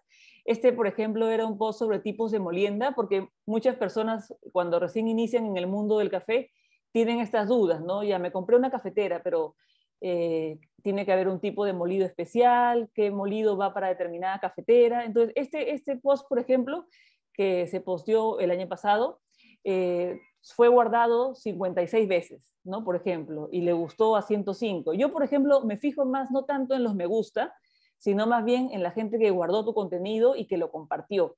¿Por qué? Porque el que guarda tu contenido es porque dice, ay, ya, esto me va a interesar, entonces después cuando tenga tiempo voy a regresar. O compartir, porque uno comparte en, lo, información que siente que ha sido que es verdadera, que, viene de una fuente confiable. ¿no? Nadie quiere compartir cosas que, que, pueden ser fake news, por ejemplo, ¿no? sino que es información confiable. Entonces, es importante porque tú puedes ir viendo que tu público te ve como una marca seria que genera eh, contenido útil y que te está ayudando obviamente a, mejorar eh, tu, tu, preparación en casa o tu experiencia, ¿no? Acá, por ejemplo, hay otros eh, ejemplos, ¿no? Este, por ejemplo, fue una frase y también tuvo, por ejemplo, lo, esto fue algo más divertido, ¿no? Como que no tomo café para despertar, sino que despierto para tomar café. Entonces, tuvo mucha interacción, lo compartieron 46 personas. Y, por ejemplo, algo que no he comentado, yo casi, esto, en estos posts yo trato de nunca poner pauta publicitaria. A mí me gusta que la mayoría de, contenido que voy creando eh, crezca de manera orgánica. Creo que es mucho mejor eh, le pongo pauta a cosas muy puntuales, pero no a todo. ¿no? A estos posts eh, prefiero que se muevan de manera orgánica y que se genere la interacción necesaria. ¿no? Acá, por ejemplo, hay otro tipo de contenido que también está relacionado a información técnica, ¿no? Por ejemplo, cuál es la diferencia entre un café comercial y un café de especialidad. Esas son cosas que muchas personas se preguntan cuando recién se inician en el mundo del café de especialidad, ¿no? ¿Y cuál es la diferencia? ¿Y cómo lo diferencio? ¿no? Incluso si vas a una tienda y hay muchas, eh, hay muchas marcas y muchas eh, ofertas de café, ¿cómo saber que lo que estás comprando realmente es un café de especialidad? Entonces, uno puede ir educando y enseñando, ¿no? Y yo creo que en esa, en esa intención de enseñar, de educar y de generar conexiones, es que también tú comienzas a fidelizar a tu cliente y en algún momento te va a comprar. A mí me ha pasado que mucha gente me escribe por WhatsApp y me dice, te sigo hace tiempo y ya me animé a comprarte. Y me parece genial porque definitivamente de alguna manera lo he impactado. Tal vez ha demorado un poco más de tiempo, algunos han llegado mucho más rápido que otros, pero hay gente que me sigue y me escribe directamente, te sigo en Instagram y, y ahora sí quiero comprarte, ¿no? Y, y, ya después comienzas a generar una relación con ellos, ¿no? Y ahí hay toda una técnica de marketing, ¿no? Y de, eh, para ver cómo hacer que ese cliente no solo te compre una vez, sino que te compre dos, tres, cuatro y ya se convierte realmente en una persona fidelizada que no solamente te va a seguir comprando, sino que va a recomendar tu pregunta, tu, tu, producto. Y yo por lo menos trato de cultivar mucho eso, ¿no? o sea, generar relaciones a largo plazo, no simplemente eh, pensar en la venta y ahí quedó, sino si yo le vendo a alguien, en un par de semanas le pregunto qué tal, cómo te fue con el café, si me dice que todavía no lo he abierto, no importa. Digo, ah, ya bacán, yo te contacto un par y les vuelvo a contactar. Y me van comenzando a contar. Y otros de frente me dicen, me encantó, te compro de nuevo. Y así van regresando. Siempre, obviamente, hay mucha gente que va a querer comprar y conocer otra marca. Está bien, pero lo importante es que tú mantengas la relación, que le escribas de vez en cuando y que sepan que de alguna manera se están preocupando pensando en ti. A veces uno tiene miedo de escribir, pero yo pienso que a veces es bueno escribir por WhatsApp. Yo los personalizo los mensajes, trato de no mandar mucho estos eh, WhatsApp de difusión que son a, mucha gente, sino que ya a las personas que yo ya he, digamos, eh, he tenido una relación con una venta, trato de escribirles siempre de manera personalizada y trato, por ejemplo, de tenerlos separados, ¿no? Clientes que me compran ya de manera seguida, entonces ya eh, me escriben de frente, ¿no? A cualquier hora, bueno, después los leo, ¿no? Pero, o me preguntan cosas sobre el café o cosas técnicas o dónde comprar cosas. Entonces, eso es bacán porque comienzan a verte como una persona que las, los puede orientar en el, en el mundo del café.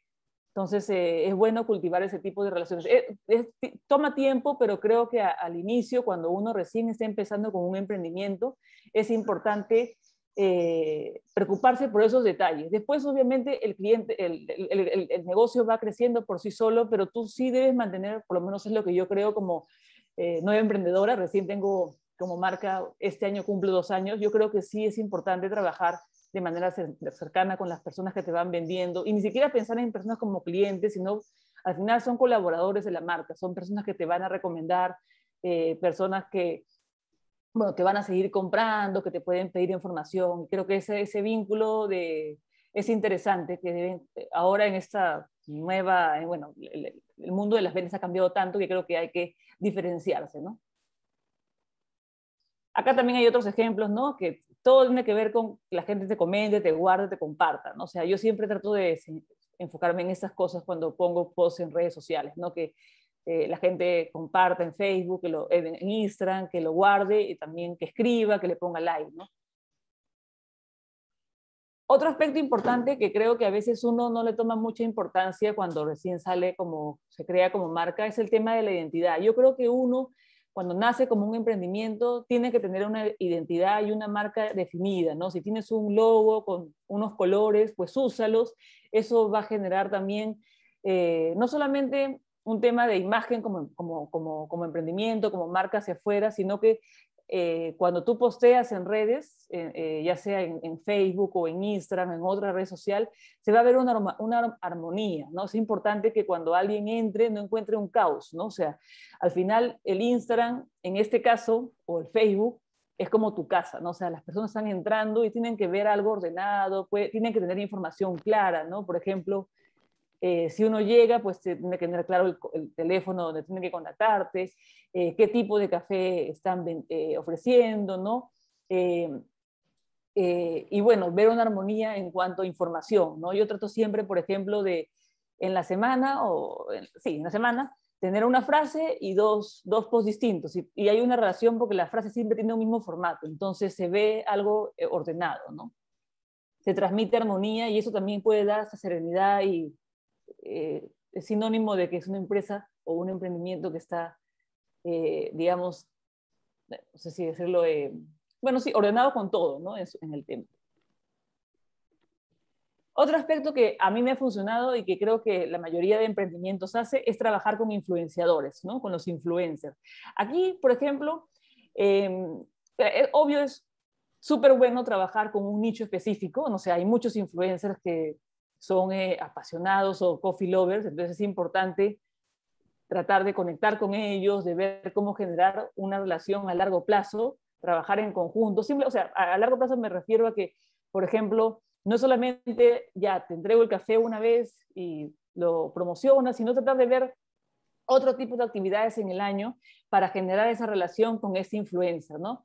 Eh, definitivamente un influencer tiene un mayor alcance y puedes llegar a muchos otros públicos. Y también, no solamente pensar en nichos específicos, eh, sino también en otro tipo de influencers o personas a los que tu mismo público sigue. Por ejemplo, eh, en el caso de, de la marca de café, yo tengo un grupo bastante grande que son mamás jóvenes y que siguen a un montón de mamás influencers y que las mamás obviamente también pueden tomar café. Entonces traté de conectarme y, normal, y trato siempre de estar, eh, digamos, eh, tener una relación con varias mamás blogueras y con ellas eh, hacemos estos inboxes, me promocionan el café, se genera una relación bonita en sorteos, ¿no? Entonces también puedes llegar a través de otro tipo de, de otro tipo de nicho, ¿no? O sea, si por ejemplo a tu público le gusta, no sé, si estás en el mundo del cacao, pero también a tu público le gusta bueno, el café que está relacionado, puedes buscar un influencia sobre café. O si tu nicho es el eh, otro en especial y tu público ves que también tiene una tendencia a seguir otro tipo, por ejemplo, el estilo de vida saludable, por ejemplo, buscar influencers que trabajen todo lo que es la salud, que todo lo que tenga que ver con nutrición, la alimentación, digamos, con todo el tema de los granos andinos, los, super, los eh, superalimentos, etc. Entonces hay que ir identificando, ¿no? Eh, cuáles son los mejores influencers según tu público objetivo. Y tratar de etiquetarlo siempre en las publicaciones, ¿no? Que uno vaya haciendo, en las claves, tampoco en todas para que no los abrumemos, pero sí en las que tú creas que ellos pueden compartirlo, ¿no? Que lo ven que es una información de valor. El uso de hashtags también es importante. Y es importante aquí no poner un montón. A veces uno peca y quiere poner, porque claro, en Instagram uno puede poner creo que más de 20, como 30, pero no vale la pena. O sea, uno tiene que focalizarse tal vez en tres o cuatro, ya cinco hashtags, ¿no? Ir viendo cuáles son los hashtags que son más usados, los que están en tendencia, y siempre crear tu propio hashtag, también eso es importante. Por ejemplo, yo como marca, Café 3.0, siempre uso eh, el hashtag que está debajo de mi marca, que es Conectados por el Café. Entonces, para todas mis publicaciones yo uso ese, ese hashtag conectados por el café y poco a poco, claro, cuando recién inicié había pocas publicaciones con ese hashtag, pero ahora ya tengo más de 500 y la idea es obviamente ir aumentando, ¿no? Eh, o sea, que ese hashtag comience a ser más posicionado.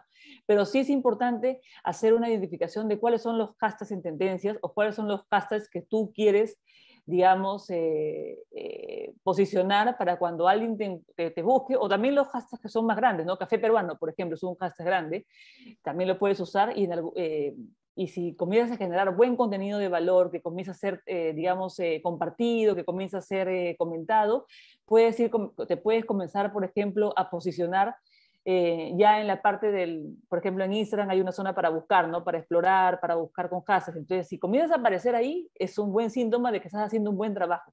Yo, por ejemplo, hace año y medio, cuando recién inicié, claro, ponía los hashtags, pero si yo entraba a buscar eh, de la zona de Instagram, pues no me encontraba. O sea, salían un montón de marcas, un montón de, eh, digamos, de personas que lo usaban.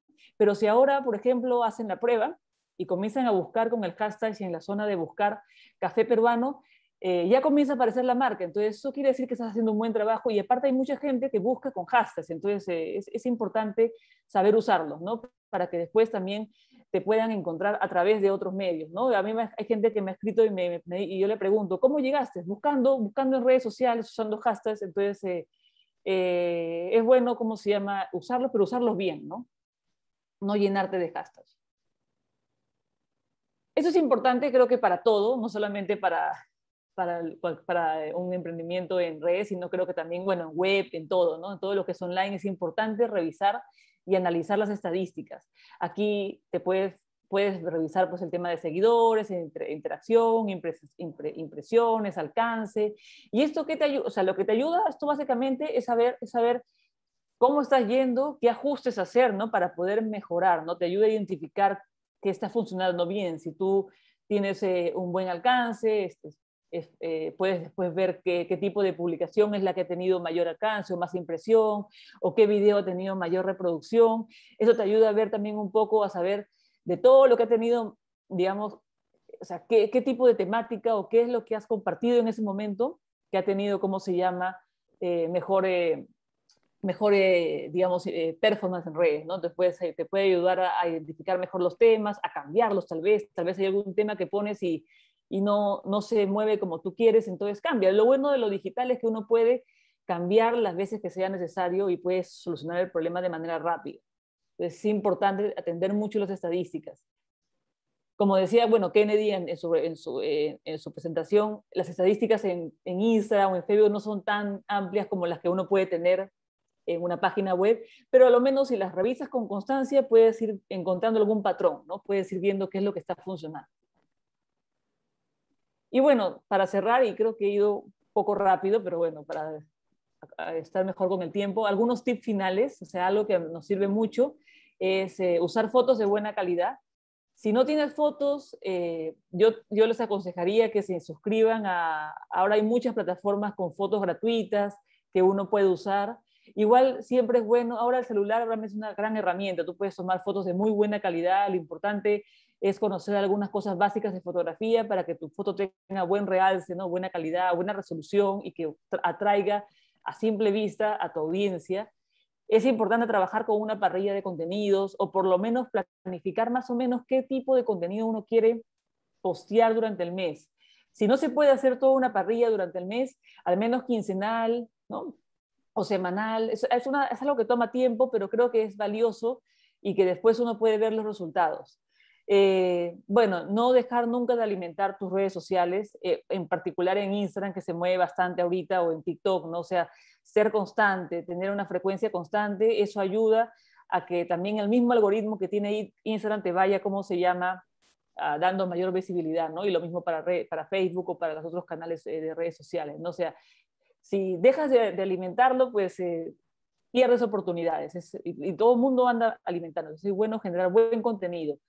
Eh, no te centres solo en ventas, como les mencionaba, eh, es importante trabajar siempre con un mix de contenidos y tratar de vender sin vender, ¿no? sino enseñando, dando información útil. La gente le gusta eso y, y también está muy cansada en general eh, de ser abrumada con ventas, ¿no? O sea, yo creo que ahora el, consumidor es mucho más selectivo en lo que desea adquirir, entonces tienes que ser mucho más inteligente a la hora de promocionar tus productos y ver formas alternativas de llegar a tus clientes sin saturarlos con tantas promociones.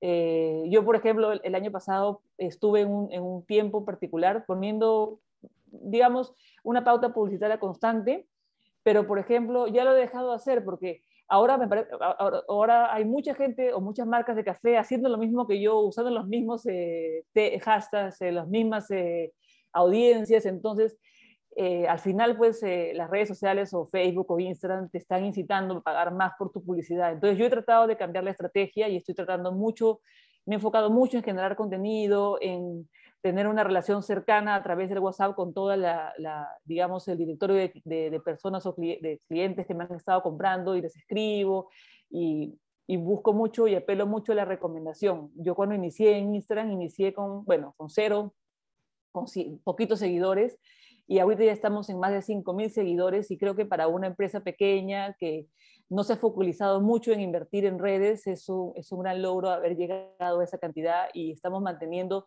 de alguna forma una, una, una, constancia en ventas, pese a que hay meses que son más difíciles, no sé, enero, por ejemplo, a veces uno se aloca porque está la gente gastada, pero por ejemplo en el caso de, de la marca hemos mantenido una constante, ¿no? Y poco, pero requiere mucho esfuerzo y mucha creatividad a la hora de, de conectar con tu público.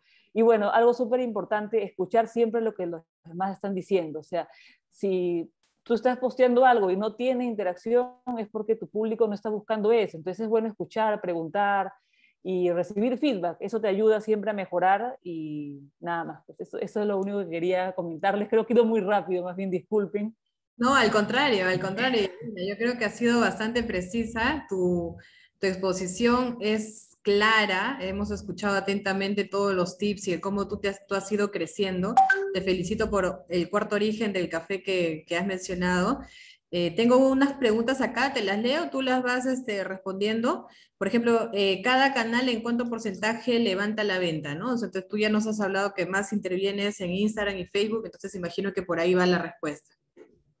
Sí, sí, ahorita por ejemplo mi mayor eh, canal de ventas es Instagram más que Facebook. Facebook lo tengo más como una vitrina para mi catálogo de productos y te diría que por ahí vienen muy poco las ventas, eh, casi todas están llegando a través de Instagram y a través también del WhatsApp, pero a través de recomendaciones. Ahí básicamente está mi, incremento en ventas, sí. Perfecto, también te felicitan porque es muy bonita tu, tu presentación, los colores.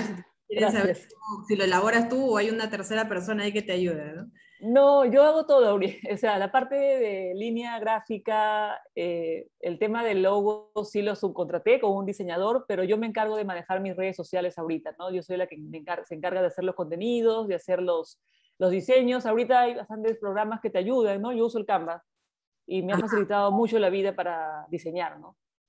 Sí, ahorita es una herramienta full, ¿no? Mira que nosotros también la estamos, eh, la hemos empezado a usar recién. Mira, ya tenemos siete años en el mercado no le dimos mucho valor a lo que era el tema de marketing, o sea, el tema de la publicidad, o sea, el, tener una página, con decirte que ni César, que es mi esposo, y yo no teníamos Facebook, entonces, al igual que tú eh, eres solo tú y tu esposo, César y yo somos los dos acá frente a Ticatania, ¿no? Entonces, a veces hay cosas de que te va enseñando el tiempo que debemos valorar más, ¿no? Entonces, eh, acá tengo otra pregunta, dice, ¿dónde encontrar influencers? ¿Cómo medir los KPIs? ¿Cuál sería el indicador que me diga este influencer funciona bien? Para promocionar. Entonces, de todos modos lo has ido diciendo, pero de repente resaltamos un poquito más. Sí, bueno, mira, yo para identificar los influencers, lo primero que hice fue, o sea, comencé a seguir a todas las, no mi competencia, ¿no? Pero a seguir a todas las marcas de café que son muy parecidas a mí. Y comencé también a ver, eh, eh, cuando ellos repostean historias, a quién están, por ejemplo, ahí te puedes dar cuenta quién es un influencer, quién no es un cliente. Entonces, comienzo por ahí a identificar ya, este es un buen, una buena persona en el mundo del café y así la contacto, ¿no? ¿Cómo me doy cuenta si es un buen influencer? Mira, hay muchas personas que han llegado, no un montón, pero digamos, si por lo menos cinco personas se contactan eh, conmigo porque han visto el, eh, digamos, el, la, bueno, el video, lo que haya hecho el influencer, para mí es bastante. Para ser una marca pequeña, ¿no? Y sí, muchas personas me dicen, te vi, por ejemplo, yo eh, trabajo mucho con Loca Café, he trabajado mucho con Café con Moto, eh, he trabajado también con la cafetera orgánica eh, y así voy mencionando, con Café Lab también les he mandado y son personas con las que ya quiero tener una relación también a largo plazo. Y sí, mucha gente me dice, te, he leído, por ejemplo, en Café Lab. En Café Lab, por ejemplo, yo eh, mando mis cafés para recomendación. Y, y, es una página que está muy posicionada en Google. Si uno busca café peruano, va a encontrar a Café Lab. Entonces, si tú, quieres, si tú eres una marca de café de especialidad, de buen café, de todas maneras tienes que contratarte con ellos, porque su, página, aparte que genera muy buen contenido, eh, son personas muy apasionadas por el café, tienen como, por lo menos tienen muchas visiones o objetivos muy parecidos a los míos. Entonces, y mucha gente ha llegado por ahí. Llegué por Café Lab, llegué por Loca Café, me recomendó y así más o menos van tanteando. Con las mamás es distinto, porque las mamás las mamás blogueras, llego, digamos, crezco en audiencia. Es más complicado que, que alguien me diga, llegué a través de tal mamá, pero creo que es bueno igual estar en ese espacio porque es un mercado interesante. Exacto, perfecto. ¿Cuántas horas inviertes trabajando en redes sociales? Ya, sí, es una buena pregunta. Bueno, más o menos, yo soy bien, bueno, es que yo soy bastante perfeccionista, a través es un, no sé si es un, puede ser una virtud, pero también puede ser un defecto porque me, me, demoro, me, o sea, para que yo sacar algo tiene que estar, lo reviso, lo reviso y N veces. Más o menos a la semana o al día, te podría decir que eh, mis mañanas bien temprano, sí, una hora y media, diaria, ¿no? Pero trato de usar, como también yo me dedico a otras cosas, digamos, tengo otro trabajo, entonces trato de usarlo muy temprano, o sea, yo leo muy tempranito en la mañana o en la noche me pongo a investigar, ¿no? O sea, trato de más o menos programar mis, o pienso el domingo ya, eh, qué voy a postear en la semana. A veces, por ejemplo, ni yo misma eh, cumplo con lo de la parrilla de contenidos porque el día a día me gana, pero sí tengo una idea de lo que quiero postear en las semanas. En dos semanas tengo las ideas claras en mi cabeza, después tengo que obviamente reproducirlo en contenido. sí. Pero sí, una hora y media, al inicio me demoraba mucho más, pero agarras práctica. Claro, hay un gasto que generas en publicidad, creo que hablaste de que es mínimo, ¿no? Pero de repente como para... Es mínimo. Sí, sí, sí. Yo más o menos invierto ahorita de verdad en redes sociales solamente 200 soles o 180 soles al mes. Al mes. Básicamente, sí, y sí, el año pasado, como te digo, sí estuve eh, eh, eh, invirtiendo en pauta publicitaria porque tenía que ganar y generar nuevos clientes, ¿no? Esa era mi consigna. Entonces sí invertí un poco más durante cuatro meses, sí hice una pausa, bueno, también igual para un emprendimiento pequeño, no sé si son cantidades pequeñas, si uno piensa en empresa grande, pero yo estaba invirtiendo unos 400 soles mensuales. Pero ya no lo estoy haciendo, creo que es que el mercado de la de las promociones y la publicidad también es saturado. Todo el mundo está haciendo lo mismo que uno. Entonces, eh, después tienes que invertir mucho más para generar una conversión. Yo el año pasado, cuando tenía, cuando, bueno, ahora, por ejemplo, una buena conversión para mí o de, en costo es, por ejemplo, el clic que esté entre, cuando son videos eh, publicidades de información, siempre están en 0.40 céntimos el clic, que me parece que es un costo bueno, o sea, es, no te cuesta mucho. Y cuando ha sido para WhatsApp, trato de que no se pase de, de sol 50. Ya cuando veo que está en dos soles y sigue subiendo, simplemente yo corto la pauta y cambio de estrategia. No, no voy a gastar tanto en una pauta publicitaria. Perfecto, perfecto, Janina. Mira, yo me quedo con todas las palabras que has dicho. Me encantó. De la noche soñé que me transformaba en café para que me tomes en serio. o sea, son frases bien pensadas, son frases que, que uno pues así en, el, en, el, día a día, en el decir, oye, ¿cómo posiciono más mi café? ¿Cómo posiciono más mi emprendimiento? Entonces uno va pensando y va generando contenido, ¿no? Entonces es una excelente práctica la que tú haces, a pesar de que eh, divides el tiempo con, con, el otro trabajo que tienes, con la, con la vida familiar y todo, pero el querer es poder y tú lo demuestras, ¿no? Entonces esto, este año y medio que, que tienes de emprendimiento, eh, me quedo con la pica de que todavía no estás en Ticatani. Entonces yo creo que vamos a Ya les escribí, ¿eh? estoy esperando que me respondan. Ajá, voy a jalar las orejas por acá, por acá a mi lado, justamente. Una pregunta yo, cuando tú dices em, café fresco, ¿a qué se refiere el café fresco? O sea, ¿cuánto tiempo debería estar envasado el café para que realmente tenga esa frescura que uno quisiera siempre tenerlo sobre la mesa? Y mira, el café, cuando uno, por ejemplo, tuesta el café, por ejemplo, ahorita acabo de tostar el 10 de marzo, he hecho mi, tostado del mes, entonces, para mí un café fresco que, digamos, uno pueda percibir todas las notas debería ser consumido durante ese mes de tostado. Ya, máximo dos meses, pero digamos, cuando uno muele el café, el café va perdiendo, digamos, eh, eh, fragancias porque se va oxidando, porque eh, el paso del tiempo obviamente va haciendo que esas notas, que, características de un café de especialidad se vayan perdiendo. Entonces, si uno, por ejemplo, compra un café ahorita, no sé, 24 de marzo, todavía el café ha sido tostado el 10 de marzo, está en óptimas condiciones, ¿no? Pero si, por eso no, no, no, no mucho, porque justamente lo que yo no quiero es tener un café, o sea, no quiero venderle a nadie un café que ha sido tostado hace tres meses, por ejemplo, ¿no? Y por eso, por ejemplo, una de mis estrategias que no la veo en la, en la mira, por ejemplo, es entrar a un supermercado grande, ¿no? ¿Por qué? Porque ahí te piden una tonelada de café, obviamente el café va a estar ahí seis meses y digamos que el concepto de, de, café fresco, ¿no? Que tú sientas realmente ese aroma, pues se va a perder en un supermercado, ¿no? Entonces yo estoy apostando más bien por espacios más pequeños, ¿no? Que al final eh, estén dentro de lo que yo busco como, como emprendimiento, ¿no?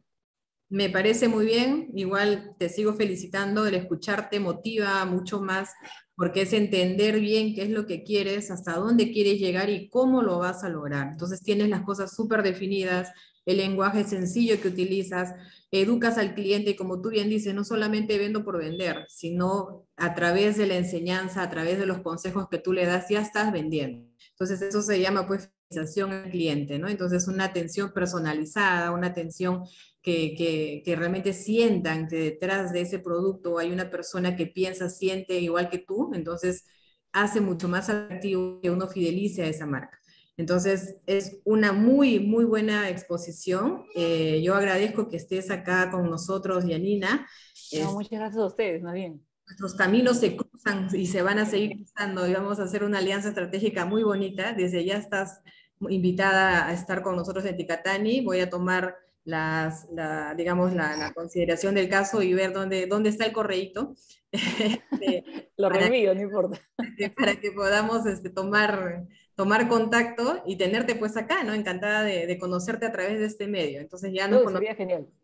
Físicamente. Yanina, gracias por participar en este congreso y ahora voy a pasar a nuestro siguiente expositor. Muchas gracias. ¿eh? Gracias.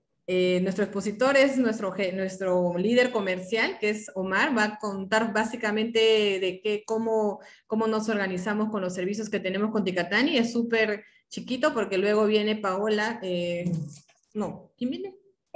Palo, Palo, Duarte, que es de Misha Rastrera, que ya está por aquí, ya la vi. Entonces, eh, ahorita Omar nos comenta brevemente y luego estoy contigo, Misha Rastrera.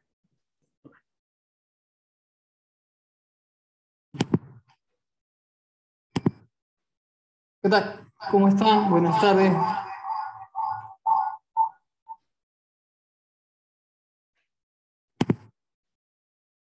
¿Qué tal? ¿Cómo están? Buenas tardes con todos. Eh, bienvenidos. Gracias a NSBA que ha sido posible pues este, todo este congreso esta semana que vamos a tener. Mi nombre es Omar. Yo me encargo de todas las operaciones comerciales eh, de Ticatani y, este, y voy a presentar un poco uh, una uh, pequeña presentación acerca de los servicios que nosotros brindamos hacia ustedes, hacia las marcas. Eh, en ese sentido, voy a proyectar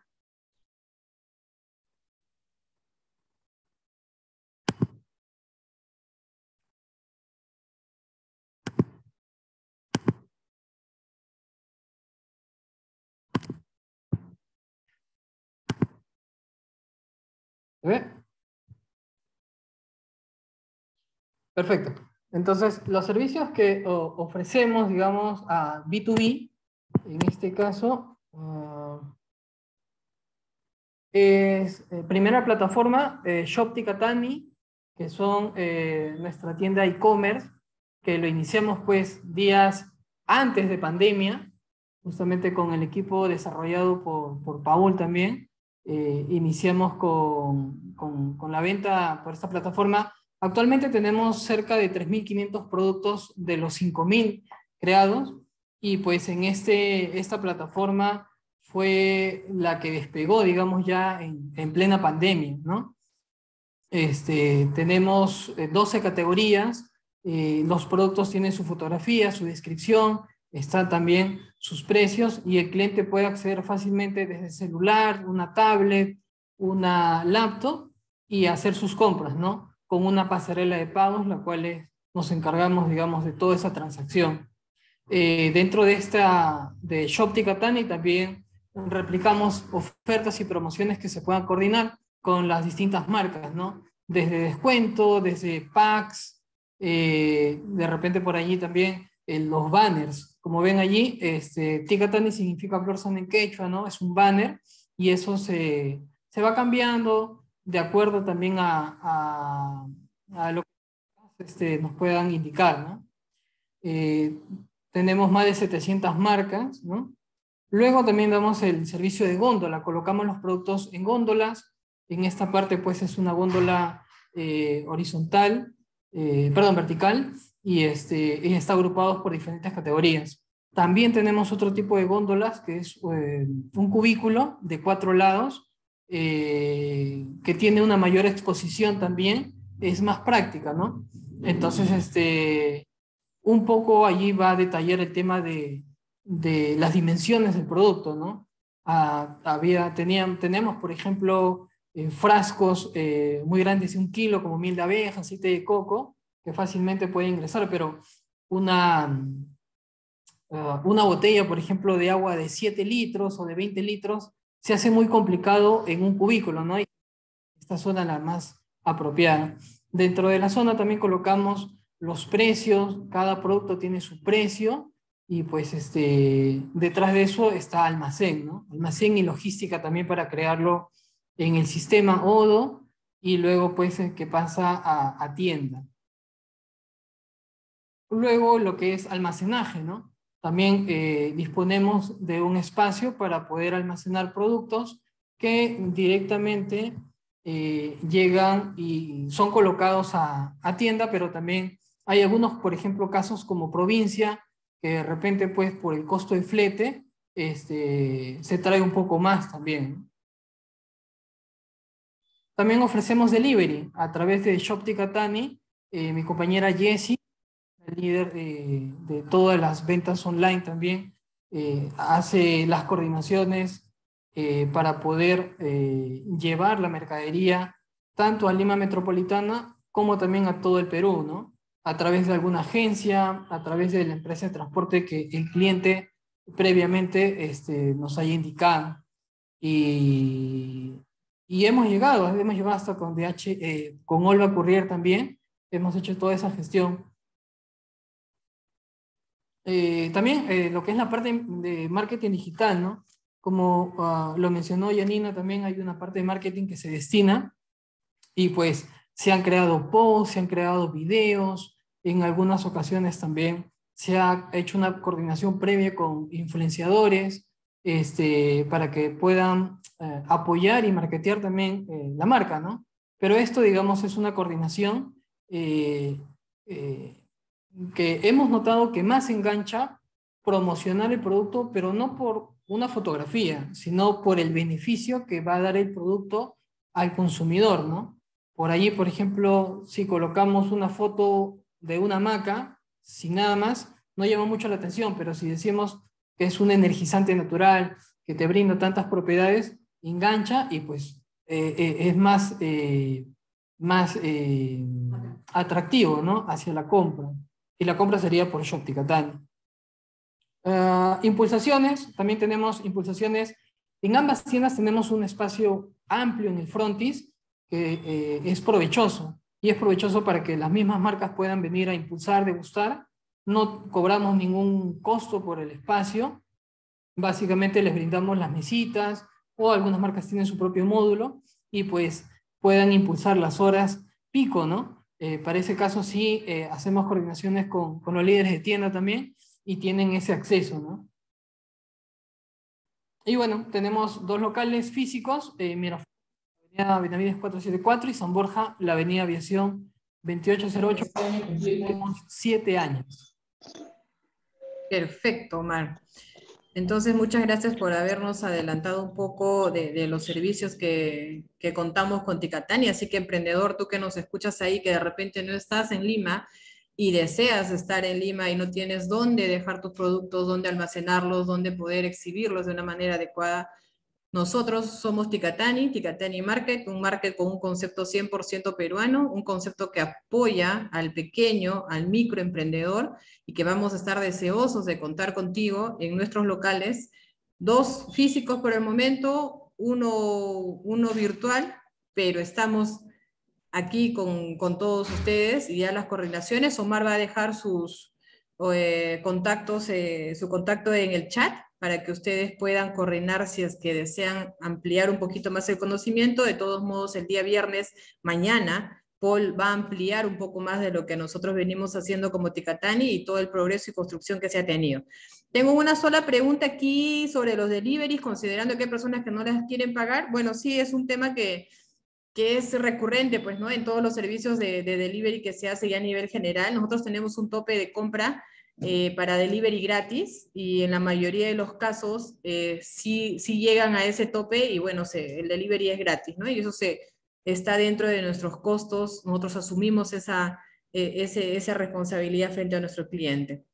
Entonces ahora para no hacer, no hacer esperar a nuestra Paloma Duarte, que me Paola, me dijeron Paola, después es Pamo, pa, Paloma, y yo decía, pero es Paloma, yo la conozco como Paloma, ¿en qué momento se cambió de nombre? Entonces, Paloma, yo te pido las disculpas del caso porque fue un lapsus. Micha Rastrera está con nosotros desde hace muchísimo tiempo y es imposible que me pueda olvidar tu nombre, pero dudé, dudé y la duda me mató. Entonces te pido disculpas, Paloma, te agradezco por estar en, esta, en este congreso eh, virtual ya imagino yo que más adelante tendremos la oportunidad de estar, compartir en un congreso físico donde poder escucharte y verlas llena de energía que siempre paras. Entonces, eh, queremos escucharte hoy acá en esta, en esta sesión. Te dejo con las cámaras que todos nuestros emprendedores puedan ah, escuchar de tu experiencia. Gracias. Gracias, muchas gracias Carla. Eh, gracias también a Ticatani por invitarnos. Eh, bueno, voy a compartir mi pantalla, aquí una presentación. Este es un mix de presentaciones. Yo sé que el tema de hoy es el marketing digital. ¿Me confirman si me están escuchando bien, por favor? Sí, perfecto. Excelente. Bueno, eh, les quiero contar un poco de Milla Rastrera y luego también contarles un poco lo que estamos haciendo en las redes y también a nivel digital en general, ¿no? bueno, antes de comenzar a hablar de Milla, tengo que hablar del, corazón de Milla, que son los productores con los que trabajamos, en eso, de hecho, siento que tenemos una motivación muy cercana a la de Ticatani, que tiene que ver mucho con, eh, de alguna manera, con todo lo que tenemos a, a nuestra disposición, apoyar a que los productores y productoras a nivel nacional tengan posibilidades de desarrollo de sus emprendimientos, ¿no? Nosotros no somos una tienda como Ticatani, sino que hacemos productos terminados, pero acompañamos en este proceso a todos los productores de insumos con los que trabajamos, ¿no? Ella es Leida, yo quería presentársela, es una de las productoras con, con la que trabajamos, ella es además de productora de panela, ella además es em, eh, una gran conservadora del bosque, bióloga, está en Amazonas, gracias al impacto positivo económico que tiene la panela que le compramos para hacer nuestras kombuchas, ella, eh, eso le permite mantener eh, no solamente un área de conservación increíble en Amazonas, sino también le permite eh, conservar el, mamífero endémico más grande que tenemos en el Perú, que es el mono chorro de cola amarilla. Bueno, él es Franklin, también es otro productor con el que trabajamos, él está en Lambayeque, tiene a sus abejas en la zona de amortiguamiento de, del bosque seco de Salas, esto está muy cerca de Cerros de Motape, también un gran productor con el que trabajamos, y él es Hugo también, quería presentárselos ya que él no está aquí hoy día, y Hugo es de San Martín, y es un productor de aceite de coco con el que trabajamos también hace mucho tiempo, y también es un héroe de la conservación, y es un poco el corazón de Milla Rastrera, y hablarles de qué tienen en común estos productores, ¿no? Porque se los estoy mencionando hoy día, y es que son productores que son emprendedores, eh, que son de esos emprendedores además que logran pasar la barrera de los dos años. Hay muchísimos emprendedores que no la logran eh, hacer después de dos años eh, y esto es súper importante y es vital para entender la importancia de apoyarlos porque realmente que tengas un montón de, de, cosas en contra, como por ejemplo falta de vías de comunicación adecuadas, transporte, a veces señal de internet, vivir lejos de las ciudades donde están eh, las cosas que necesitas para industrializar tus productos, eh, a pesar de ello, ellos lo están haciendo, lo están logrando, ¿no? Y además, específicamente, trabajan con productos de la biodiversidad que son innovadores, ¿no? Y eso es para nosotros es maravilloso, por eso trabajar con ellos, ¿no? Y bueno, ellos no están aquí contando su historia y es otra de las razones por la cual es importante mencionarlos, ¿no? Si yo estoy aquí hoy, eh, también vengo representando a todos los productores con los que trabajo y, y me encanta por eso que puedan conocer un poquito de ellos, ¿no? Bueno, les voy a hablar de Milla Rastrera, que es nuestra, nuestro emprendimiento lo que hacemos nosotros, aquí estamos un grupo de Milla, acá hay otros chicos de Milla, eh, somos un equipo conformado por jóvenes, tanto chicas como chicos, que trabajamos productos para el cuidado personal y productos alimentarios basados en el buen vivir, el Suma Causai, que es una filosofía de vida que básicamente es eh, vivir en armonía con el planeta, producir cosas que sean buenas para la gente, tanto para la gente que los consume como para la gente que produce la base de la cadena de valor. Tenemos dos líneas. Eh, estas dos líneas, como les decía, es el cuidado personal, el wellness, donde está la cosmética, y tenemos una línea que es la línea alimentaria, que tenemos ahí nuestras kombuchas, nuestros kefires, nuestro chucrut, que son alimentos fermentados en general. Tenemos más de 220 productos, así que Milla es una locura a nivel de manejo interno, por eso quería contarles un poquito acerca de cómo lo hacemos, porque manejar tantas líneas de producción es bien complicado. Eh, si alguno de aquí tiene esa diversidad de productos, lo debe saber. Trabajamos con 29 productores, esto está creciendo, esto ya no son 29, siempre la, presentación está más atrás que yo, que lo que estamos haciendo en la realidad, en ocho regiones de nuestro país. Acá les voy a mostrar un poquito de los productos que hacemos. Esta bebida fue lanzada en pandemia.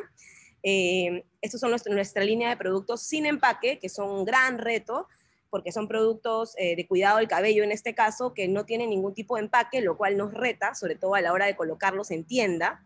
Eh, ¿Por qué hacemos productos sin empaque? Porque creemos que es importante no solamente impactar en la base de la cadena de valor, generar comercio justo, sino también hacer productos que no generen más basura, ¿no? Y es algo que nos, todos los días nos interpela. Y los productos sin empaque son productos que están ahora en el mundo siendo una tendencia eh, para el cambio de eh, paradigma sobre el consumo. Otra, otro producto que tenemos es el palo santo envuelto en panca de choclo, imagínense. Acá tenemos algunos de nuestros productos de línea mística también, como les he dicho, no voy a poder mostrarles todos nuestros productos porque son muchísimos, pero quiero contarles un poquito de cómo aportamos y trabajamos directamente con los productores. Básicamente lo que hacemos nosotros es, además de comprarles insumos, ayudamos a visibilizarlos. ¿Dónde? A través de nuestras etiquetas, nuestra página web, a través eh, de diferentes formas que tenemos de comunicarle a nuestros consumidores de dónde salen los ingredientes que hacen posible lo que ellos están comprando, ¿no? Además, los ayudamos en general a colocarse en las redes también. Eh, de hecho, me parece súper interesante este congreso por lo que significa, lo que significa hablar de digitalización, eh, las grandes brechas que existen, eh, que no permiten que muchísimas personas den el salto. La pandemia ha obligado a muchísimos a dar el salto, muchas veces sin las condiciones básicas para dar ese salto, ¿no? acceso a Internet, por ejemplo, ¿no? en el tema de digitalización. También nos ayudamos a mejorar específicamente en lo que ellos necesitan. A veces necesitan alguna asesoría en temas eh, contables, a veces en temas eh, ya más relacionados a impuestos, a veces también en marketing. Los apoyamos en esto, pero por sobre todo eh, lo que buscamos es que los productores con los que trabajemos alcancen la autonomía económica para poder crecer con nosotros. Y ahí viene también una parte del marketing que hacemos sobre este tema, porque es importante hacer, pero comunicar también a los consumidores lo que se está haciendo, porque si hacemos un esfuerzo grande por hacer las cosas bien, necesitamos comunicarlo, ¿no? Y, ese paso muchas veces eh, es un paso que eh, no aprovechamos los que hacemos las cosas bien. O sea, tenemos que hacernos una palmadita. Estamos haciendo productos saludables, estamos haciendo buenos, productos buenos para el planeta, estamos conservando ecosistemas. Hay que contárselo al mundo y hay que decirle que las decisiones de compra que tienen pueden ser decisiones inteligentes que apoyen al planeta y a la gente. Entonces, por eso nos inventamos estos sellos, que eh, la idea es ir incorporándolos paulatinamente en nuestras etiquetas. Ya están en nuestro catálogo eh, web y también en nuestra página web. Son sellos que te cuentan un poco de dónde vienen cada uno de nuestros productos, qué esfuerzo estás apoyando al comprarlos, ¿no?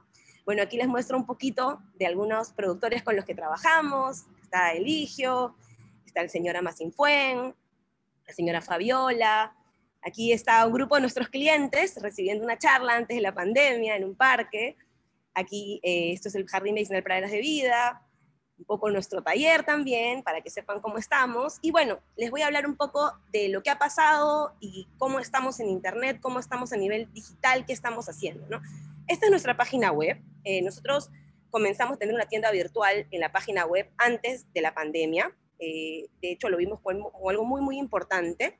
Debo decirles también que en estos seis años que tenemos de emprendimiento, eh, hemos sido reconocidos tanto con premios del tipo de temas ambientales, como también algunos premios del Estado peruano. Somos ganadores de Startup Perú y también del Reto Bio, que son premios a los que los invito a conocer y a postular porque es importante participar en, esto, en estas convocatorias porque te permiten tener un dinero que te ayuda a hacer las cosas que ya ibas a hacer, pero más rápido. ¿sí? Entonces, eh, tenemos esta página web ya de antes de la pandemia. Nosotros ya antes de la pandemia eh, teníamos una estrategia digital, teníamos una página de Instagram, una página de Facebook, teníamos una página web, eh, pero evidentemente la pandemia nos colocó en una situación en la cual teníamos que acelerar algunos procesos que habíamos estado haciendo poco a poco, ¿no? Eh, la tienda virtual ya existía, tuvimos que meterle muchas más ganas a este medio, que seguramente me lo van a preguntar, es el medio actualmente por el cual más vendemos eh, a nivel digital. Antes de la pandemia, nosotros vendíamos muchísimo en tiendas y en ferias. Era, las ferias eran nuestro lugar feliz, ¿no? Íbamos a las ferias todos los fines de semana, teníamos más de seis ferias por fin de semana, siete, ocho, había fines de semana que teníamos la increíble cantidad de nueve ferias al mismo tiempo, es una logística para la cual nos habíamos preparado y en eso comenzó la pandemia. Entonces eh, tuvimos que ver cómo hacíamos para convertir esa cercanía con el cliente a los medios digitales, ¿no? Eh, bueno, aquí está la, vista de la página web para que la conozcan. La tienda virtual ahora es una tienda que ha sido renovada en pandemia, eh, con la intención de ser cada vez más rápida, ser mejor, más accesible y más fácil para el cliente, ¿no? Esta es la vista de nuestra página de Instagram. Eh, en Micha Rastrera eh, comenzamos trabajando eh, Luis y yo, que somos los socios fundadores. el día de hoy somos un equipo de casi 30 personas. de hecho, gran parte de esas personas trabajan en el área de comunicación. Están aquí justo conmigo sentadas hoy día porque hemos tenido una reunión presencial después de un tiempo. Normalmente no nos vemos ya porque ellos trabajan ya en sus, en sus casas. Eh, antes trabajamos en oficina todos, este, bueno, em, el equipo de comunicaciones de Milla Rastrera trabaja eh, no solamente la estrategia digital, sino también eh, se encarga de ver todo lo que son las ventas online, ¿no? El, el, manejo de estas redes que son a veces muy abrumadoras. Al principio yo lo hacía, al principio yo diseñaba, al principio yo creaba los posts, era bien complejo hacerlo todo.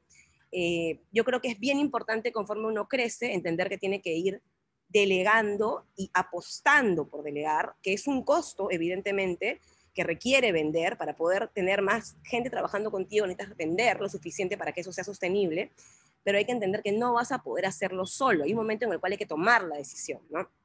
Es una decisión muy difícil, como entregarle un niño a alguien que no conoces y no sabes cómo va a suceder. Y es muy importante, por eso la, eh, sí les diría como un paso que a mí me pareció muy importante, fue entender cómo es que uno recluta gente, ¿no? Y qué quiere las personas que van a trabajar de la mano contigo en el proyecto que has creado con todo tu corazón, ¿no? Entonces, eh, esta es la página de Instagram. Hemos crecido orgánicamente los primeros cinco años. Eh, no pusimos un sol de publicidad. Lo cierto es que las reglas han cambiado muchísimo. Eh, estaba escuchando al anterior ponente que la conocí en una feria y me encantó su café, por cierto, eh, estaba recordándola, nos conocimos en una feria en Lince, y em, en pandemia.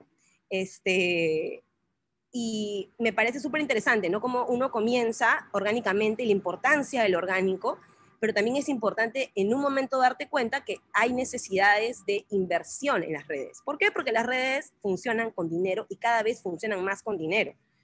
¿Está mal? Yo creo que está mal. Yo creo que al final deberíamos eh, poder entrar en este mundo de las redes sociales este, en igualdad, pero es cierto que los que tienen más dinero ponen más plata en sus publicidades, pero no por eso son más exitosos también, eso hay que decirlo. Entonces, eh, comenzamos cinco años orgánicos, este año tenemos ya una estrategia de medios que es administrada por una persona especialista en ello, eh, que es un planner digital, que hace un reporte mensual que nos cuenta un poco cuánto nos está costando el clic, cuánto nos está costando la venta. Hemos llegado a esto después de un tiempo. No es lo que uno hace el primer día. ¿no? Uno no contrata necesariamente un planner digital el primer día porque muchos, como, como yo y como muchos que emprendemos, emprendemos con una mano delante y una mano atrás. O sea, comenzamos el emprendimiento con un capital reducido. y tenemos que decidir en qué lo vamos a invertir y en qué vamos a potenciar nuestro conocimiento para poder eh, parchar esos huecos que van quedando en el camino. Por ejemplo, cómo reclutar personal, cómo se maneja una página de Instagram, etcétera. ¿no? Eso es algo que uno va aprendiendo y es importante igual saberlo cuando uno ya va a delegarlo. Tienes que saber lo que estás delegando. Tienes que saber también lo que quieres de tu marca, qué cosa quieres transmitir a través de tus redes. Entonces, bueno, tenemos una cantidad de seguidores importantes. Nosotros también elaboramos eh, un contenido que es sostenido. Las redes sociales necesitan ser alimentadas, son como un monstruo eh, de cinco cabezas, eh, donde hay muchísima gente viéndote y tienes que darles contenido. El contenido, como también lo he mencionado, yo he estado maravillada escuchando la, presentación anterior, de verdad, el contenido necesita ser contenido de valor para tu, consumidor, tiene que ser un contenido que además eh, tenga que ver con lo que tú quieres con, contarle al consumidor eh, y también eh, debe ser un contenido que aporte valor para la causa que tú estás este, llevando a, a, la gente, ¿no? En nuestro caso, por ejemplo, la conservación de los ecosistemas, el apoyo al, pequeño emprendimiento, ¿no? Y, por ejemplo, este es una, un screen de los últimos posts que hemos tenido este mes. Eh, nosotros somos una marca que, además de las cosas que les he contado, nos interesa muchísimo el tema, la problemática de la mujer. Somos una marca eh, que trabaja en el sentido de empoderar a las mujeres, no solamente a través de lo que hacemos internamente, cómo manejamos eh, el tema de las coordinaciones a nivel interno, sino también queremos que la gente lo sepa. Entonces, por ejemplo, acá hay un ejemplo, ¿no? Hemos estado en el mes del 8 de marzo y hemos hecho varias eh, publicaciones al respecto de lo que nosotros creemos es importante transmitir a la gente sobre temas de violencia, de género, entre otros, ¿no? Además de nuestras publicaciones de producto que evidentemente son eh, sostenidas. Si ustedes ven nuestras redes, se van a poder dar cuenta con qué periodicidad hacemos producto, contenido que no tiene que ver mucho con el producto, formas de uso. Todo eso responde a una planificación que hacemos eh, mensualmente. En la pandemia nos dimos cuenta también que era importante tener canales para comunicarnos con nuestros clientes que no fueran solamente un WhatsApp, el chat, el Instagram, el Facebook. Y creamos esto que eran los Raimis en vivo, eh, que eran como ferias virtuales a través de un grupo de Facebook. Miren, esto ya no lo hacemos. y esto por qué lo quería traer hoy día aquí, ¿no? Porque hay estrategias que aplicamos durante un tiempo que nos funcionan y luego comienzan a dejar de funcionar y hay que pensar nuevas estrategias. Nadie nos dijo el manual de tienen que hacer una feria virtual eh, en pandemia, que era el momento más álgido pandemia. Nadie nos lo dijo. No, yo no puedo. Pero, eh, pues apaga tu auto.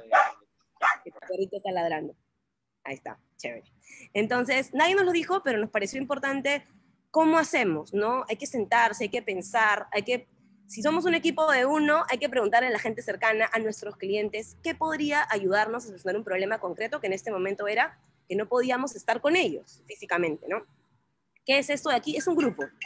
Es un grupo de, de Facebook donde hacíamos transmisiones en vivo una vez a la semana y donde la gente obtenía algunos descuentos eh, online a través de eso. ¿no? Yo, yo hacía en vivos, hablaba de los productos, lo deben haber visto porque es una estrategia que se usa en, en varios grupos de ventas. Paréntesis, el Facebook ahora es una herramienta muy importante de grupos. Ya no es una herramienta mucho para tener una página de Facebook, hay que tenerla, ¿no? Pero los grupos, los grupos de afinidad, los grupos de, entretenimiento, que hay un montón, son bien importantes porque ahí la gente tiene mayor actividad que en los muros, en los muros de las marcas.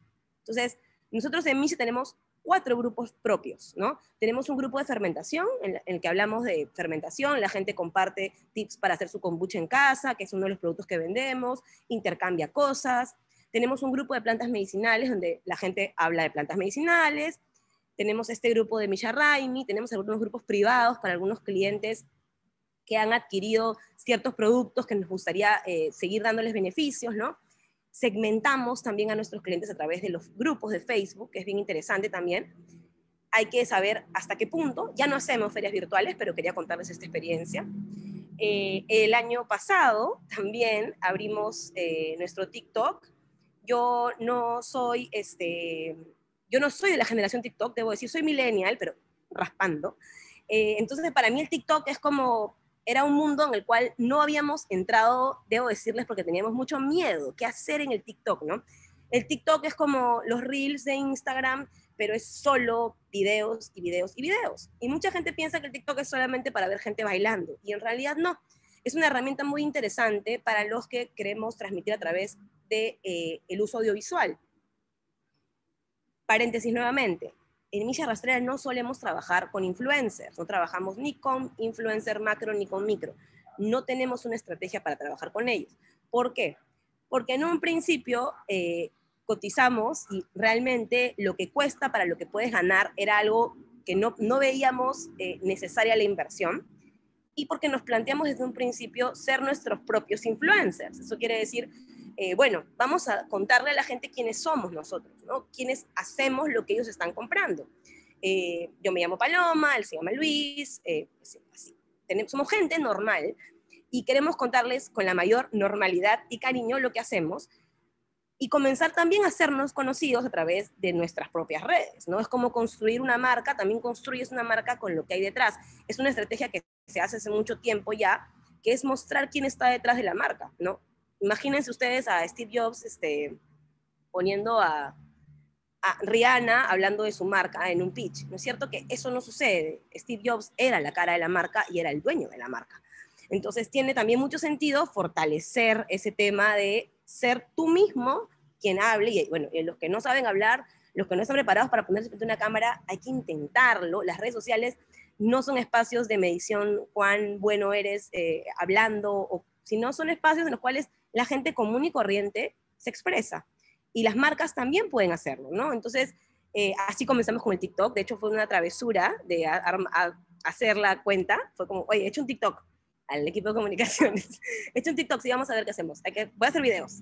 No sé cómo funciona, pero voy a comenzar a hacerlo, ¿no? Entonces, eh, el TikTok ahora tiene una estrategia como todavía manejada por mí específicamente, no por el equipo de comunicaciones, pero usamos los videos y tratamos de que eh, los videos que saco por TikTok, que a veces son cosas que se me ocurren en el momento, tengan que ver con la grilla que tenemos pauteada para nuestras otras redes y poder usar lo máximo posible el video que lancemos.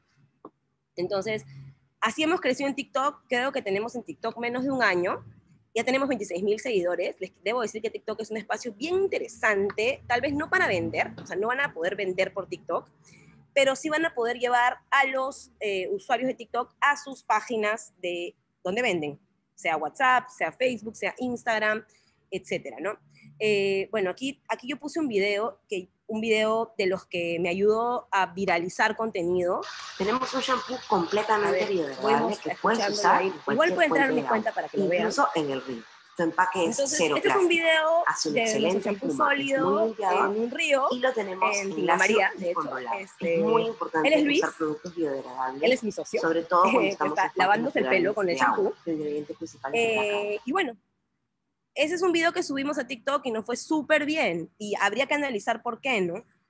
Fuimos honestos, hicimos una edición con nuestro celular, eh, no tuvimos un equipo de personas ayudándonos a hacerlo, pero a la gente les gustan los contenidos que son muy 12 reales, ¿no? horas Y, caminando por ejemplo, este de aquí la este es un, Lamas, eh, un video en el que la hablamos comunidad de la comunidad de eh, con la que Son trabajamos 20 eh, kilómetros de la caminata.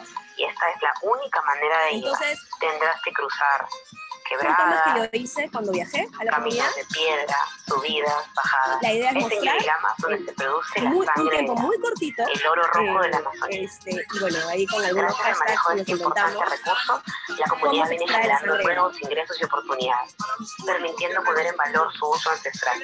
Él es Rosico, comunero y gran conocedor de las plantas. Si quieres conocer cómo se extrae este valioso recurso, síguenos. Entonces, eh, es mi voz. Eh, quería hablarles del TikTok porque me parece interesante traerlo aquí a, a un grupo de emprendedores y emprendedoras que están escuchando, o, o futuros emprendedores y emprendedoras. Es un medio muy, eh, donde además, les debo decir, el TikTok no es un medio de cineastas profesionales. ¿ya? Eh, a diferencia de, por ejemplo, el Instagram, donde hay una valoración muy alta tener buenas fotos, que es algo que leí en la presentación anterior.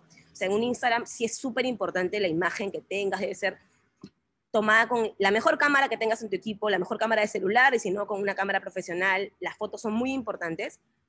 Sin embargo, los videos de TikTok no son, ni tienen que ser profesionales, ¿no? Eh, la naturalidad de esa red social es que uno se grabe. Yo tengo estos videos como les he mostrado, pero tengo otros que son yo hablando de cualquier cosa en tres minutos, ¿no? Hablo de lo que me pregunta la gente, aprovecho ese contenido y lo resubo a mi Instagram, lo aprovecho y lo resubo a mis historias de WhatsApp. Entonces así tengo mucho contenido audiovisual. El contenido audiovisual tiene un impacto demasiado importante en el consumidor. Los consumidores están, ah, y se dan cuenta ustedes, ¿por qué creen que existen ahora también Reels en Facebook? ¿no? En Facebook ahora también puedes subir videos, algunos ya les apareció esta, esta opción en sus Facebooks, pero ya hay Reels de Facebook y los Reels de Instagram cada vez están siendo eh, más eh, como beneficiados por la aplicación. Hay que saber también esto. Las aplicaciones cuando comienzan a, por ejemplo, eh, dejarte subir videos, le van a dar mayor visibilidad a las marcas que lo hagan porque quieren que uses la herramienta. Probablemente después los reels ya no sean tan visibles si no le pones dinero, ¿no? Bueno, ahí voy a continuar. Acá voy a darle... Tenemos un shampoo. Ya. Y bueno, esta es una vista de nuestro, nuestro Facebook, ¿ya? Eh, también la idea, por ejemplo, en este post era contarle a los clientes que estábamos apoyando a los productores con los que ya trabajábamos en pandemia, ¿no? Hicimos unos directorios para que la gente pudiera acceder y comprarle directamente al productor o productora eh, con la intención de que puedan eh, conocer lo que estaba pasando en pandemia, que era que muchos productores y productoras no podían sacar sus productos de campo, ¿no? Entonces, este tipo de contenido es importante porque refleja lo que la marca quiere contarle a sus, a sus consumidores, ¿no? Esto, por ejemplo, ¿no? Eh, hicimos un, también otro directorio de micro y pequeñas empresas, eh, que lo colgamos en internet, usamos la herramienta del Drive, que es una herramienta del Google gratuita, eh, y creamos un directorio. No somos una empresa que crea directorios, pero queríamos que la gente pudiera entender que lo que estamos haciendo tiene un fin final, que es apoyar a los productores, ¿no? Eh, lo de la derecha, por ejemplo, em, es una campaña que hicimos con Somos Amazonía para específicamente apoyar a la comunidad de San Francisco en Pucallpa para temas relacionados a COVID. ¿ya? Entonces, por ejemplo, esa es una campaña que hicimos, me quería mostrárselas un poco para que vean eh, de qué hablamos cuando hablamos de contenido de valor, ¿no? No solamente es dar buena información, sino también contar qué estamos haciendo por detrás nosotros como empresas, ¿no? Por más chiquito que sea, por más que sea algo pequeño, ¿no? hay cosas importantísimas que el cliente valora. Eh, esto de aquí es una publicación que hicimos con Nisha, también en el contexto del COVID, es una publicación online eh, en la que hablamos de plantas medicinales buenas para las vías respiratorias y también en plantas para relajarnos.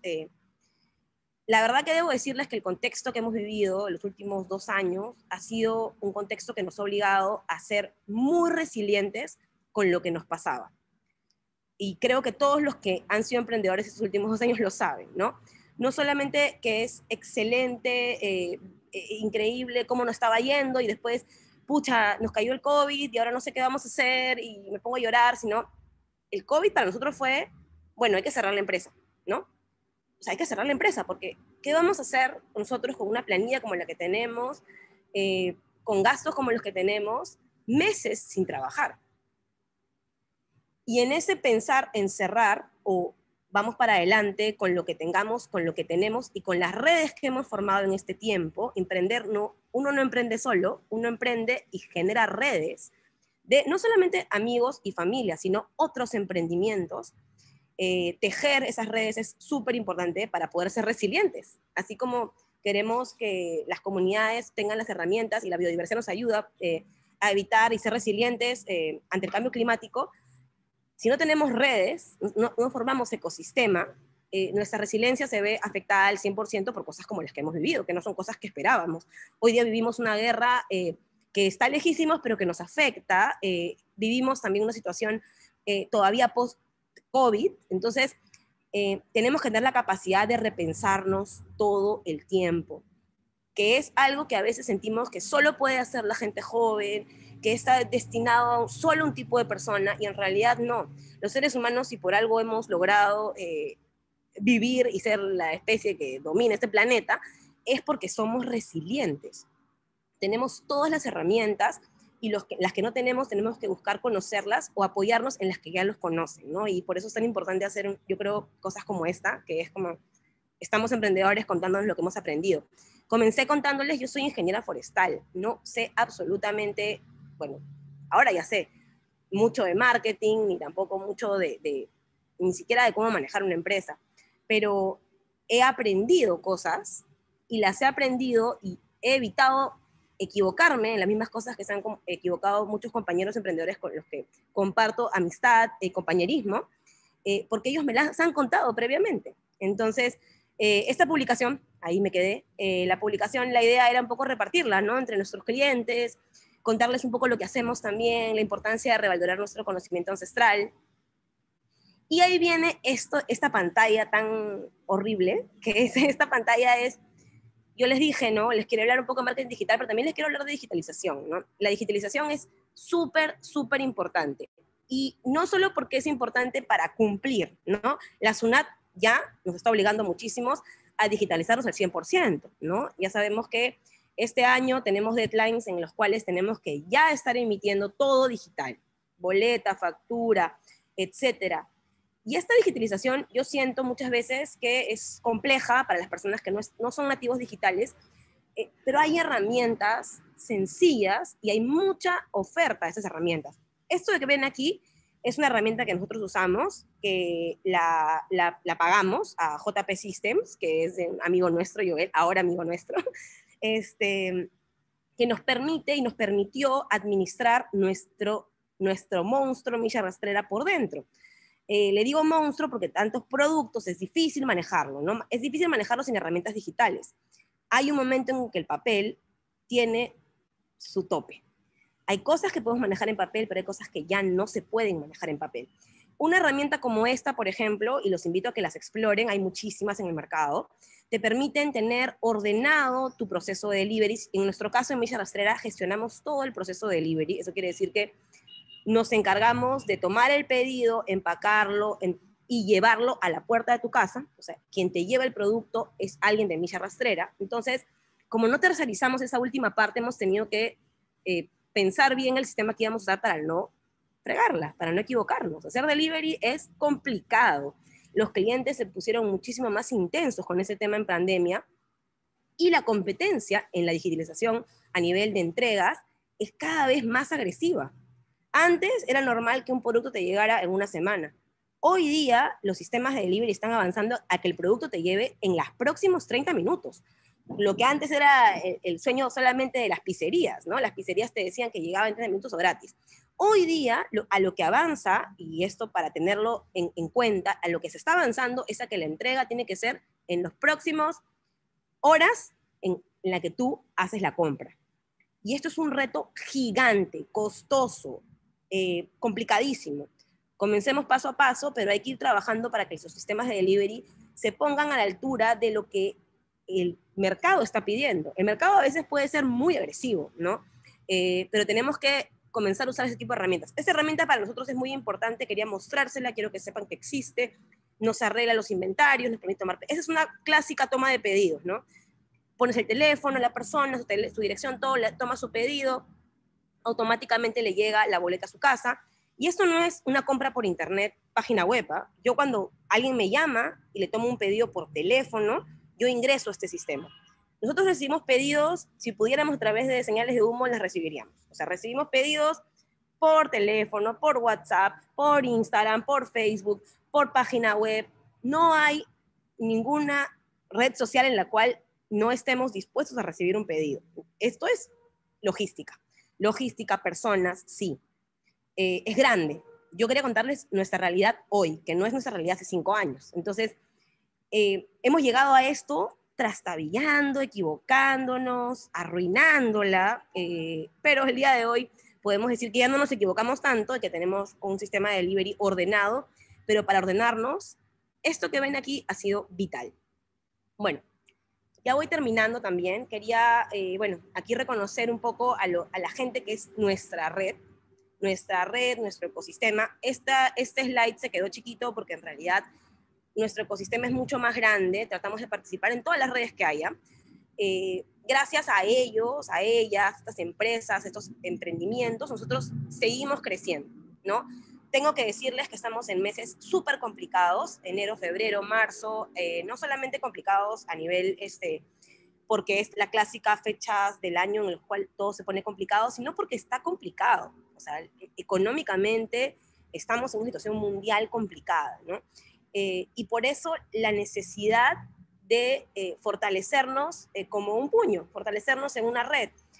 Porque así podemos, por ejemplo, ¿no? en pandemia, los amigos de la mullita no podían llegar a, ciertos lugares y nosotros los ayudábamos a llegar con nuestro delivery y nos prorrateábamos los gastos. O sea, son ideas que uno tiene cuando trabaja en comunidad. bueno, somos Milla Rastrera, la resistencia de la gente que ama la naturaleza, amamos la naturaleza, amamos a nuestro país y nos encanta eh, compartir con todo el mundo lo que venimos haciendo para que nos digan que hacemos mal también y que podamos además seguir construyendo cadenas de valor resilientes y amorosas, ¿no? que a veces nos olvidamos del amor en estas cosas y cuán importante es dejar amistad también. Así que eso, muchísimas gracias y recibo sus preguntas. Gracias, gracias Paloma. O sea, es, es muy claro, muy preciso, bien directo lo que nos has contado, toda tu, tu experiencia a lo largo de estos cinco años de, ya de tener a Villa Rastrera, el que tú y Luis pues eh, hayan logrado lo que han logrado hasta hoy es excelente, ¿no? Y sobre todo de que ustedes se avientan a la piscina, a veces no sabemos pues nadar, pero ahí estamos y no nos vamos a ahogar. El que tú hayas dicho de que tienes una red no solamente de amigos ni familiares, sino una red más profunda, más amplia, significa justamente eso, ¿no? Tener la confianza de aventarte a la piscina y saber que no van a dejar que te ahogues, sino que en el momento que menos esperas va a haber alguien ahí dándote la mano para sacarte. Entonces, eso es una construcción de día a día, no es de la noche a la mañana, esto es un trabajo súper arduo, son muchas horas. Eh, dedicadas a este esfuerzo, a este trabajo. Entonces yo te escucho y como lo dije al inicio, o sea, eres una inspiración, eres energía pura de lo que hablas, de la pasión que te, te ronda en tu emprendimiento, pues es, es algo súper encantador, ¿no? Entonces, y como lo dijiste, o sea, Ticatani y Misha Rastrera comparten la misma finalidad, ¿no? Trabajan ustedes con microproductores, o sea, ustedes se van a las comunidades, conocen el origen en sí, de dónde sacan los, los insumos para ponerlos en un, o sea, ya presentarlos en un producto final, y nuestra, nuestra misión también es esa, ¿no? O sea, es conocer el origen de los productos. Entonces, vamos por buen camino. Nuestra alianza comercial, estratégica y de amistad, yo creo que se va posicionando muchísimo más. Así que con la energía que tú nos has dado hoy, realmente ganamos, ¿ah? hoy ganamos, hoy tenemos que ganar. O sea, Misha Rastrera le puso el punto final, la energía, la pasión, la garra que necesitábamos para que podamos eh, emprender muchísimo más, ¿no? Entonces yo estoy segura de que los emprendedores que te han escuchado, de todos modos deja tus datos en el chat porque eso sí lo, lo, lo, pueden este, hacer el copy-paste rapidísimo. Eh, han escuchado todo tu, tu, caminar y tanto Yanina que tuvo dos años, bueno, tiene un año y medio y ya se han conocido en LinkedIn en aquel momento de pandemia, este, estoy segura de que vamos a seguir los pasos pues y, y yendo para adelante, ¿no? O sea, ni una pandemia, ni una guerra, ni nadie ni la política hoy por hoy nos va a derrumbar, ¿no? O sea, nosotros somos mujeres hechas y derechas con muchas ganas de aprender y rodeadas de personas que nos van a, empujar a seguir adelante, ¿no? Tú y Luis, Yanina y su esposo, en, por mi caso César y yo. Entonces, vamos, vamos caminando de la mano. Te agradezco por estar presente en este, en este segundo congreso virtual y, de verdad que muy, muy placentera escucharlas hoy en este, en este día, ¿no? Entonces, yo invito al resto de, de personas o emprendedores que están acá con nosotros a que puedan estar también el día de mañana. Mañana hacemos el lanzamiento de Yuyay yo creo que también, Paloma, te va a gustar mucho escuchar lo que nosotros hemos construido con Yuyay, así como tú tienes ahora un ordenamiento de lo que es tu, tu, servicio de delivery. Nosotros también pensamos muchísimo en ello y hemos construido algo muy interesante que mañana lo queremos lanzar. Y, y ya con el triunfo de Perú hoy, mañana vamos a seguir celebrando. gracias, gracias Paloma por estar acá con nosotros. Gracias.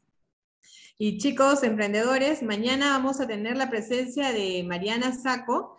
que es licenciada y magíster en nutrición y dietética, cofundadora también de la marca, de la marca D-Blancs, eh, productos saludables orientados a mejorar la calidad de vida. También vamos a contar con otra experiencia eh, de emprendimiento de nuestra amiga Lali Goizueta, que es actriz y ahora es empresaria, fundadora de la marca Mafi. Eh, estos son más saludables en base a avena y sin azúcar añadida, ¿no? lo que va a convertir obviamente un producto libre de octógonos. Vamos a tener también la presencia de un miembro del Comité de Innovación de la CONFIEP, que es Marushka Chocobar, que es la secretaria de la presidencia del Consejo de Ministros, es líder y promotora de la transformación digital del gobierno. Entonces también nos va a acompañar ella y como palabras de clausura vamos a contar con Elena Corte Conterno, que es la presidenta de IPAE, y también con Mesías Guevara, que es el gobernador regional de Cajamarca. Entonces yo los invito desde ya a que mañana podamos estar presentes. Mañana sí es en el horario normal. Hoy tuvimos que adelantarlo porque definitivamente las ganas y la emoción nos embarga de ver a nuestros, nuestro equipo peruano jugando y sabemos y creemos, confiamos en que ellos van a ganar, entonces lo adelantamos un poquito, las gracias a los expositores porque accedieron a, adelantar sus ponencias a pesar de todas las labores que tienen que hacer, y el día de mañana sí arrancamos a las 6 de la tarde, eh, con los expositores que les mencioné y haciendo la clausura. Va a estar súper interesante el producto que nosotros hemos eh, estado construyendo ya bastante tiempo, va a ser por fin mostrado a todos nuestros nuestros emprendedores en este congreso para que pueda ser una herramienta de mejorar y que ustedes puedan digitalizar sus, emprendimientos. Muchísimas gracias a todos. No sé si Natalie quieres agregar algo más o damos por finalizado ya eh, el día. Ya, nada ah, más, solo agradecer a todos que hoy día venían, también agradecer a todos uh, expositores uh, por excelentes exposiciones. Yo recibí un gran placer y ahorita solo encender las cámaras y tomar un foto final. Y también no olviden seguir nuestras redes de Tica, Tani y NSBA Clusa. Ya, vamos, tomamos un foto final. Ya encendemos las cámaras. Uno, dos, tres. Ya, tenemos un foto. Entonces, nos vemos mañana. Muchas gracias. Gracias. Chao.